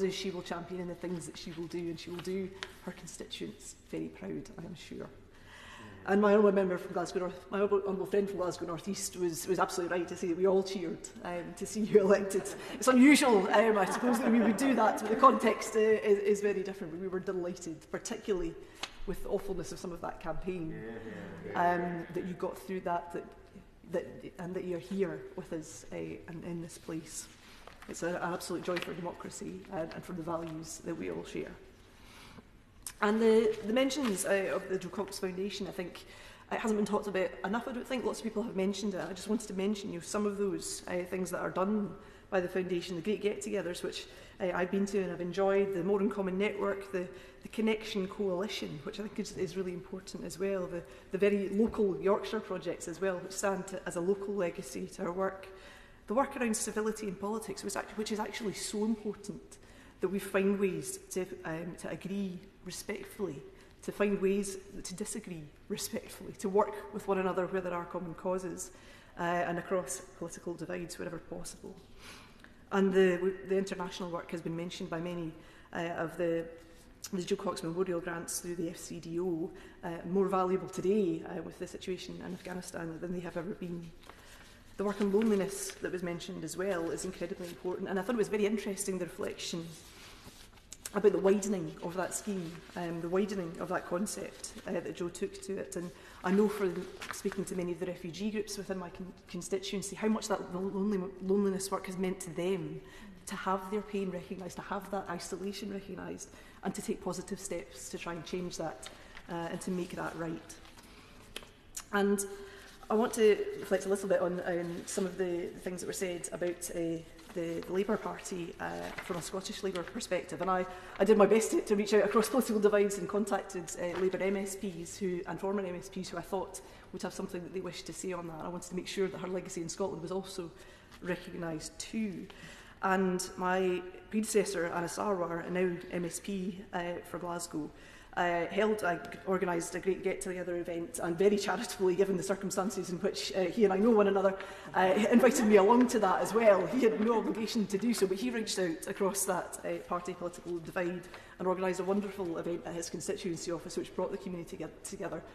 which allowed people to have those conversations uh, and to be together. And I hope that we'll be able to make uh, that happen more in the years and months to come.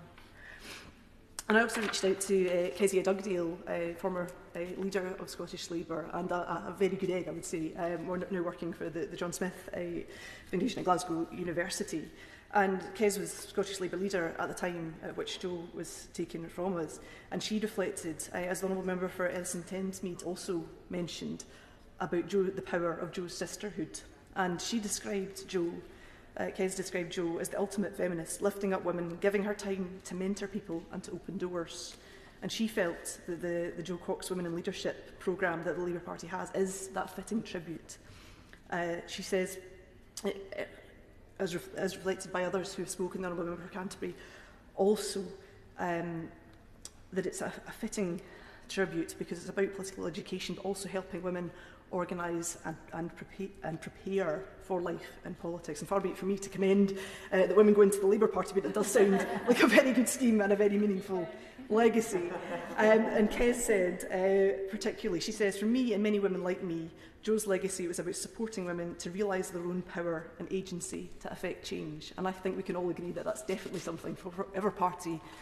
you want to stand for, uh, something worth valuing. And I also heard uh, from Monica Lennon, MSP, who she says, um, who I understand has had the meeting, has had the privilege of meeting the, the new member from Batley in Spain uh, at events also, and she also is very delighted uh, for you here today.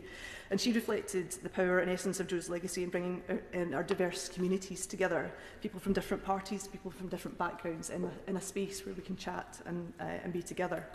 And her feeling was also of solidarity And she says women of all political parties have looked out for one another more since Jo's death, and that, is, and that we can all take inspiration from the way that she lived her life. And I think that is incredibly powerful, regardless of, of whoever has said these things. And I thank uh, those, those colleagues in the Scottish Labour Party for getting in touch with me to, uh, to do that as well, because they also miss her and thank her for all that she has done. And I think in reflecting the, the, the legacy of those who have come here, in this place as Joe's, um, uh, as Joe's legacy. Um, it's really important and it reminds us on all of our qualities, you know, what we wish be, how we should approach things. And I wrote down some of the words that people had mentioned, passion, enthusiasm, commitment, clarity, decency, principle,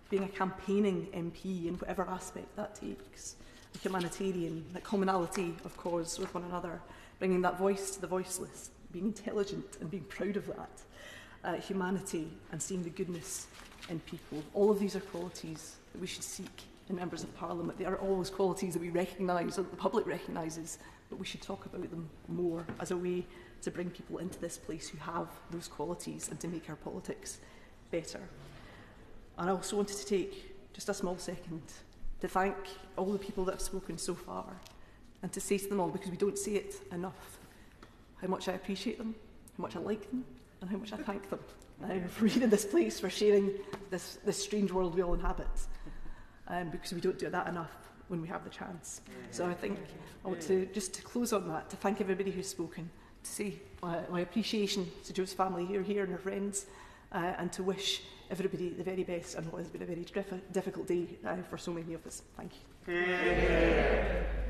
Shadow Minister Rachel Maskell. Yeah. Thank you, Madam Deputy Speaker.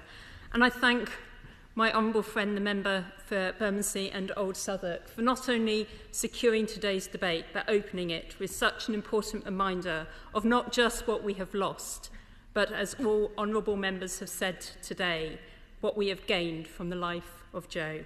Mm -hmm. And I thank all who have attended, whether they've spoken or sat here and reflected, your presence means so much to us. Today we have searched for words to show our affection and admiration for our dear friend Jo. Her legacy has left its imprint around the world, and in contrast to the dark moment that stole her life, the light through which she lived her life and shared with others has ignited hope, lit movements, and sparked a generation of people to step into a space where they too can make change, make a difference to the people around them. The Honourable Member for Batney and Spen has more than stepped into that space today in her own unique way. Yeah, yeah. In one of the most personal and passionate speeches ever heard in this House, she has moved us all, or certainly will, with her, one of her workouts. As a younger sister myself, I recognise that unique bond between sisters. And today, the Leadbeater family spirit filled this chamber just as the memorable words of Joe's maiden speech called us to draw together through recognising the unity we share, overwhelming that which divides us. Today's speech by my honourable friend will echo not just in this place, but across nations in years to come. Indeed, today it sparked unity in our place and perhaps a fresh start for politics to bring us more together to do the job we were called to do. But it was these powerful words, first spoken by Joe, that have called time and again on our communities to draw close, to seek to find our common bonds and beckon for us to share our lives in unique ways with each other. Joe did. As so many of us recently witnessed in Batley and Spen, Joe's legacy is sown into the hearts she touched in her own community. As we knocked on doors, people were eager to share how Joe had been there for them spoke for them, and above all, turned those words into actions. She knew the honour of being sent to Parliament to speak for them, a task she diligently devoted herself to. As we have heard today, she reached out across the House to draw people into her space and turn their attention to the cause. Whether on Syria and highlighting the acute humanitarian crisis, or whether her compassion in listening to those who have known the searing pain of loneliness. I thank my honourable friend, the member for Wirral South as well, for all she has done in continuing Joe's work on Syria, in putting the victims of conflict at the heart of all we do. It is her tenacity which has furthered Joe's legacy. Joe sought answers, laboured for solutions, and focused on the transformation she believed politics could bring. As the member for Aberafon reminds us, she strived for unity over division, to stand up for what was right, speaking truth to power. As my humble friend, the member for Barnsley Central, who can't be with us today, wanted to pay this tribute. Joe was such a good friend and wonderful human being, compassionate, kind, honest, funny, courageous. She was a doer with an infectious enthusiasm. Joe's legacy as a humanitarian shines strong and her memory will continue to inspire for generations to come. We miss her dearly. Jo, of course, spent time working in the EU, and there too her legacy continues. As the chair of the Labour Party, the Honourable Member for Oxford East said, Jo's legacy is keenly felt by so many people with the Socialist and Democrat group and reflected in the naming of her own square in Brussels, Place Jo Cox. Jo's message continues to be a rallying cry for a grown up politics which promotes the incredible things people can achieve when they come together. In those words, more in common, which we daily read and remind ourselves at the start of each session and draw perspective from as we look to the coat of arms placed above these benches. We, we embrace those words that we must have more in common. As my honourable friend, the member for Hornsey and Wood Green, who can't be here right now, said when in the chamber, I looked at Joe's plaque and think how I can make a positive contribution the way Joe did inclusive, warm, intelligent, and challenging. Joe's, Joe lives on in our contributions both to address our at times divided communities, always with a sense of urgency and hope. It was to communities here and around the world that Joe served. Having seen the difference the Royal Voluntary, Ser Vol Royal Voluntary Service was making to the lives of older and vulnerable people in her constituency, she became determined to tackle the issue of loneliness. Joe's support to ensure no one of any age from any background experienced loneliness led to the Commission on Loneliness and the subsequent strategy and a named Minister for Loneliness.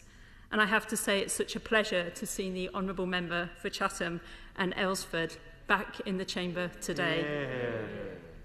Yeah. It's her legacy which had moved this agenda forward as the Commission turned into that strategy and in October this year it will mark its third anniversary. So it's important Its importance was noted by us all over the last 18 months as we have navigated our way through the COVID 19 pandemic. And it isn't without significance that my honourable friends, the member for Enfield Southgate, Coventry North West, Washington, and Sunderland West, have all drawn on that as the feature of their speeches today, recognising its role amongst the bereaved, amongst those who have really been challenged in our times, those people experiencing chronic loneliness and of course at this time refugees too. My hon honourable friend, the member for Erith and Thamesmead, reminded us all of the inspiration she gave us as women, not least through the Labour's Women's Network. And my honourable friend, the member for, for Canterbury, talked of the power of the women in leadership. Jo's feminism came through in all she did, whether on the international stage or in her constituency. The Joe Cox Foundation, found in her memory, formed by friends and family, is growing Joe's legacy with a vision for a kinder, more compassionate society where every individual has a sense of belonging. It now marks the great get together, bringing communities together, and I look forward to my invite to Bermondsey next year to join with colleagues in that place of unity.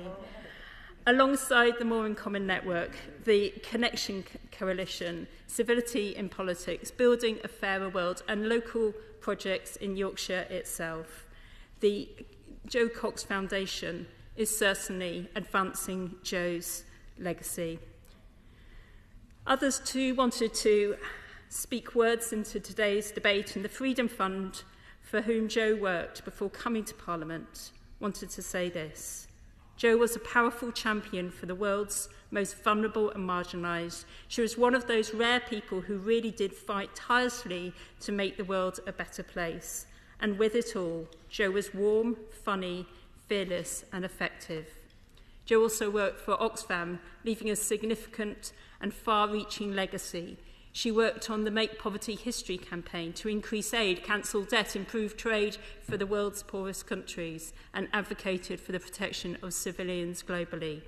An inspiring, positive, and energetic leader who is passionate about justice and equality. Oxfam's vision of a kinder, fairer world, a world less divided by borders, money, race, or gender, is rooted in Joe's values. Her work and her impact is still felt across Oxfam and the development sector today. As a passionate advocate here and around the world, it was no mistake that Jo was a Labour MP. Her politics mattered. She was an active member of the GMB too. Neil Derrick, the Regional Secretary, has paid this tribute. Jo radiated happiness and it was infectious. You couldn't help but smile when in her company, as many of us did. She wanted to do so much and had so many plans to try and improve things, not just for her constituents, but for GMB members across the region. A little bit of Joe lives on in every one of us every time we do a good deed or show compassion to one another. We are incredibly proud at GMB to call Joe one of our own And as honourable friends have said today, she is one of our own. Jo's search for a fairer and more just world drove her in all she did.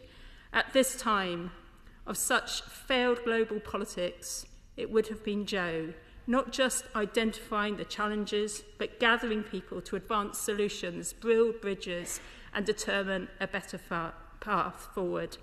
As the Honourable Member for Tonbridge and Malling reminded us that Joe showed us what this place was for, the purpose for which we are called to serve, and the Right Honourable Member for Sutton Coldfield saying, and knowing where we stand. Above all, Joe was an extraordinary woman, a mother, a wife, a daughter, a sister, a colleague, and our friend. In leaving us, she has challenged us all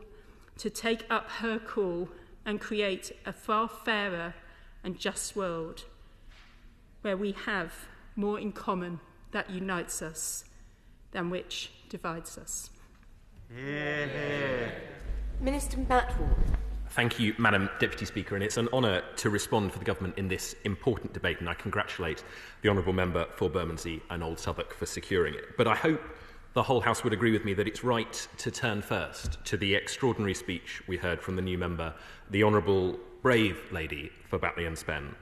She spoke movingly about her journey to this place, what it means to be here, and her passion to diligently represent the area that she loves and that Joe Cox loved too. And if I may, I will pick out two areas specifically. And the first is what she said about public service. Every day in this chamber, we see that for doing this job, some members of Parliament made the ultimate sacrifice. We all, one way or another, make sacrifices doing it too, but there are too many shields on these walls. And we all know that Parliament, this place, is where we can make the lives of our constituents and this whole country greater still. And as she said, both her and her sister sought to reach across party lines to do that. We are strongest when we can make that work, when we can crack on and get stuff done, as she said. And in so doing, perhaps we will make the divisive, damaging, fractured politics that we've seen in recent years a little bit less painful. Over the last few years, we've lived through some of the most polarised times in British politics. From the tone of today's debate, I think we all think that we should do better. Yeah, And I know, speaking to members across this House, that Joe Cox worked across party from the moment she was elected. And I know, speaking to the Honourable Lady herself before this debate, that she too will continue that legacy. We have, as so many have said today, more in common than that which divides us wherever we sit in this House. And I think we forget that too often. And the second thing to say, Madam Deputy Speaker, is that while this is a debate not solely focused on the Joe Cox Foundation by any means, uh, it is focused on her legacy as a whole, but the foundation is the way in which we will ensure that so much of that work lives on, Madam Deputy Speaker. Legacies are always about the future, not the past. So those values of stronger communities, a better public life, and a fairer world are all things the last 18 months have certainly shown us to be more vital than ever. Whether that is, as Jo put it herself, turbocharging the public's awareness of loneliness or tackling the scandal of online hate, this government is committed to tackling the issues the foundation is involved in. And that's because, Madam Deputy Speaker, when she identified them, those issues mattered profoundly and they still matter profoundly. Now, I could, Madam Deputy Speaker, talk at great length about the things that the government is doing to support some of those superb initiatives. They've been mentioned a lot today, whether it's the Joe Cox Memorial Grants, the Foundation's Great Get Together campaign. Collectively, Joe's legacy is already benefiting tens of thousands of people across the world. I'll highlight three particular areas. The first is intimidation in public life and the behaviour that can stop talented people, particularly women, and those from minority backgrounds from standing for public office. We recognise that several MPs have in the past referenced abuse as a reason for standing down, and to humanise that, Madam Deputy Speaker, it means that there's hardly a woman in Parliament who hasn't received a death threat, even though many men have not. It means the police judge that we need security in our homes, and it means an emotional toll on our families that, who worry that this job is far more risk than it's worth, as the Honourable Lady for Washington and Sunderland West said. For all those reasons and more, the government is taking action to tackle this culture. And I don't think today is a day to introduce partisan politics, but let me say simply that it is the need to tackle intimidation of every sort that drives the government's agenda from online safety to defending democracy.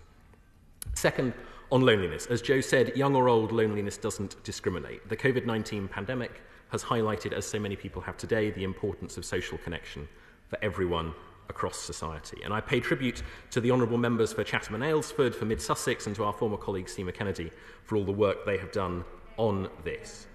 This government is proud to have continued to play our part in building on the pioneering work that Joe Cox started, and the Joe Cox Commission on Loneliness carried out that invaluable work which informed the government's 2018 Tackling Loneliness Strategy, the world's first government strategy of its kind.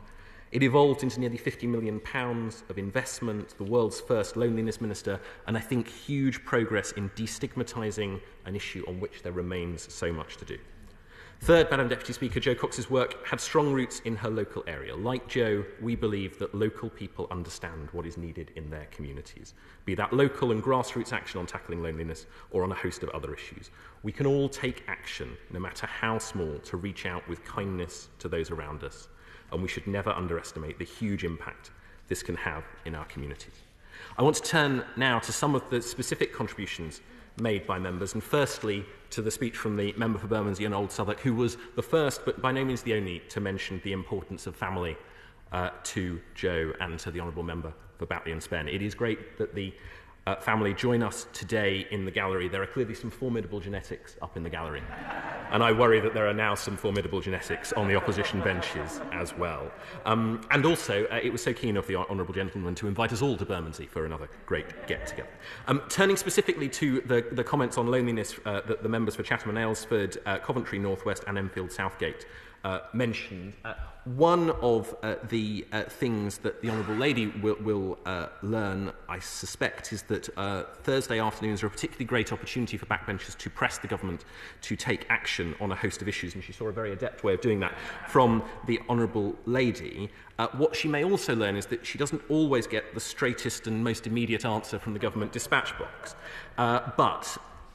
the Honourable Lady knows that both the issues she raised is, are, are under serious consideration by this government and uh, her views are ones that are shared elsewhere. So uh, those two issues, particularly on social prescribing, are hugely valuable. Um, among other things, the Honourable Lady might also learn uh, from the Honourable Gentleman, the Right Honourable Gentleman for Sutton Coldfield, is that it is genuinely true that friendships go across party, and I hope we can continue that. She may also learn that there is no place in which you can't promote a book, but that is a separate issue. Um, The honourable gentleman for Tunbridge and Malling, uh, no, no longer in his place, uh, adopting, uh, uh, uh carrying out his duties as chair of the Foreign Affairs Select Committee made what I think was a genuinely important speech uh, about the value of why we are all here. And I think we all valued that contribution. I think we also can all learn how you can turn being late into a uh, politically useful point as well.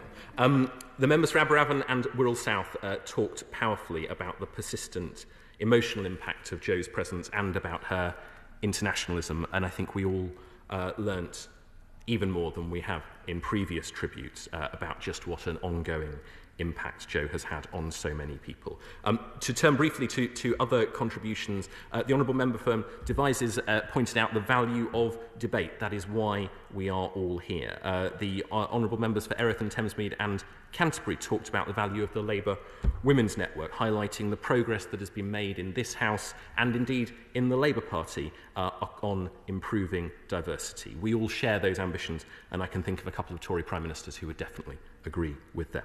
Uh, the, uh, the Honourable Member for Wealdon, of course, talked about the value of leadership, which she has shown uh, on uh, a number of issues, and I know will continue to do so. And turning finally to the contributions of the members for Glasgow North East and Glasgow Central, both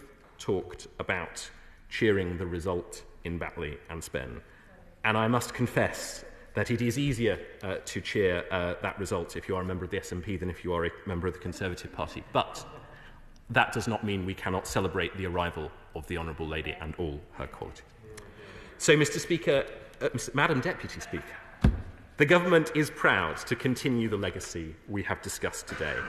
Whether it is through supporting women and girls internationally through the Joe Cox Memorial Grants, working at national level to address intimidation in public life and tackle loneliness, or supporting people to connect in their local communities. We continue to be inspired by the life and the work of Jo Cox and her belief in a kinder and fairer world for everyone. And I want to end by saying simply one thing. We've heard powerful speeches today, watched by honoured guests in the gallery, and I know there are others, including the former Prime Minister, the Right Honourable Member for Maidenhead, who hope to be here too. Today has been an exceptional parliamentary moment, and that is because we have been here to commemorate an exceptional life. We see that shield in this chamber every day, a pointed reminder that Joe Cox's legacy is permanent in our minds and in this place. I know the member for Batley and Spen will do justice to it, and we should all work to honour it as well.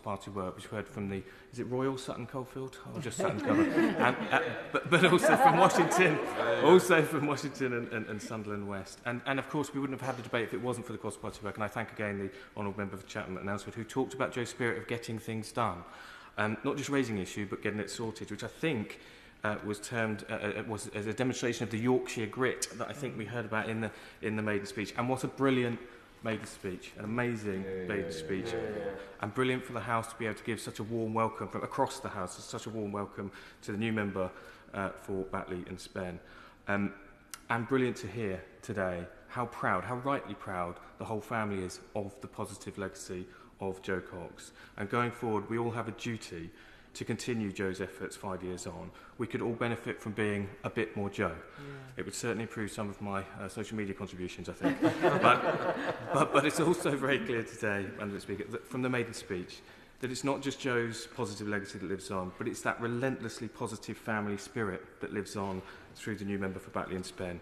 And we could all benefit from being a bit more Joe, but we'd certainly all benefit from being a bit more Kim. Yeah, and, absolutely. and we'll all have the chance to do it when we welcome the Batley Way riders to Flatland Square at the Great Get Together in June next year.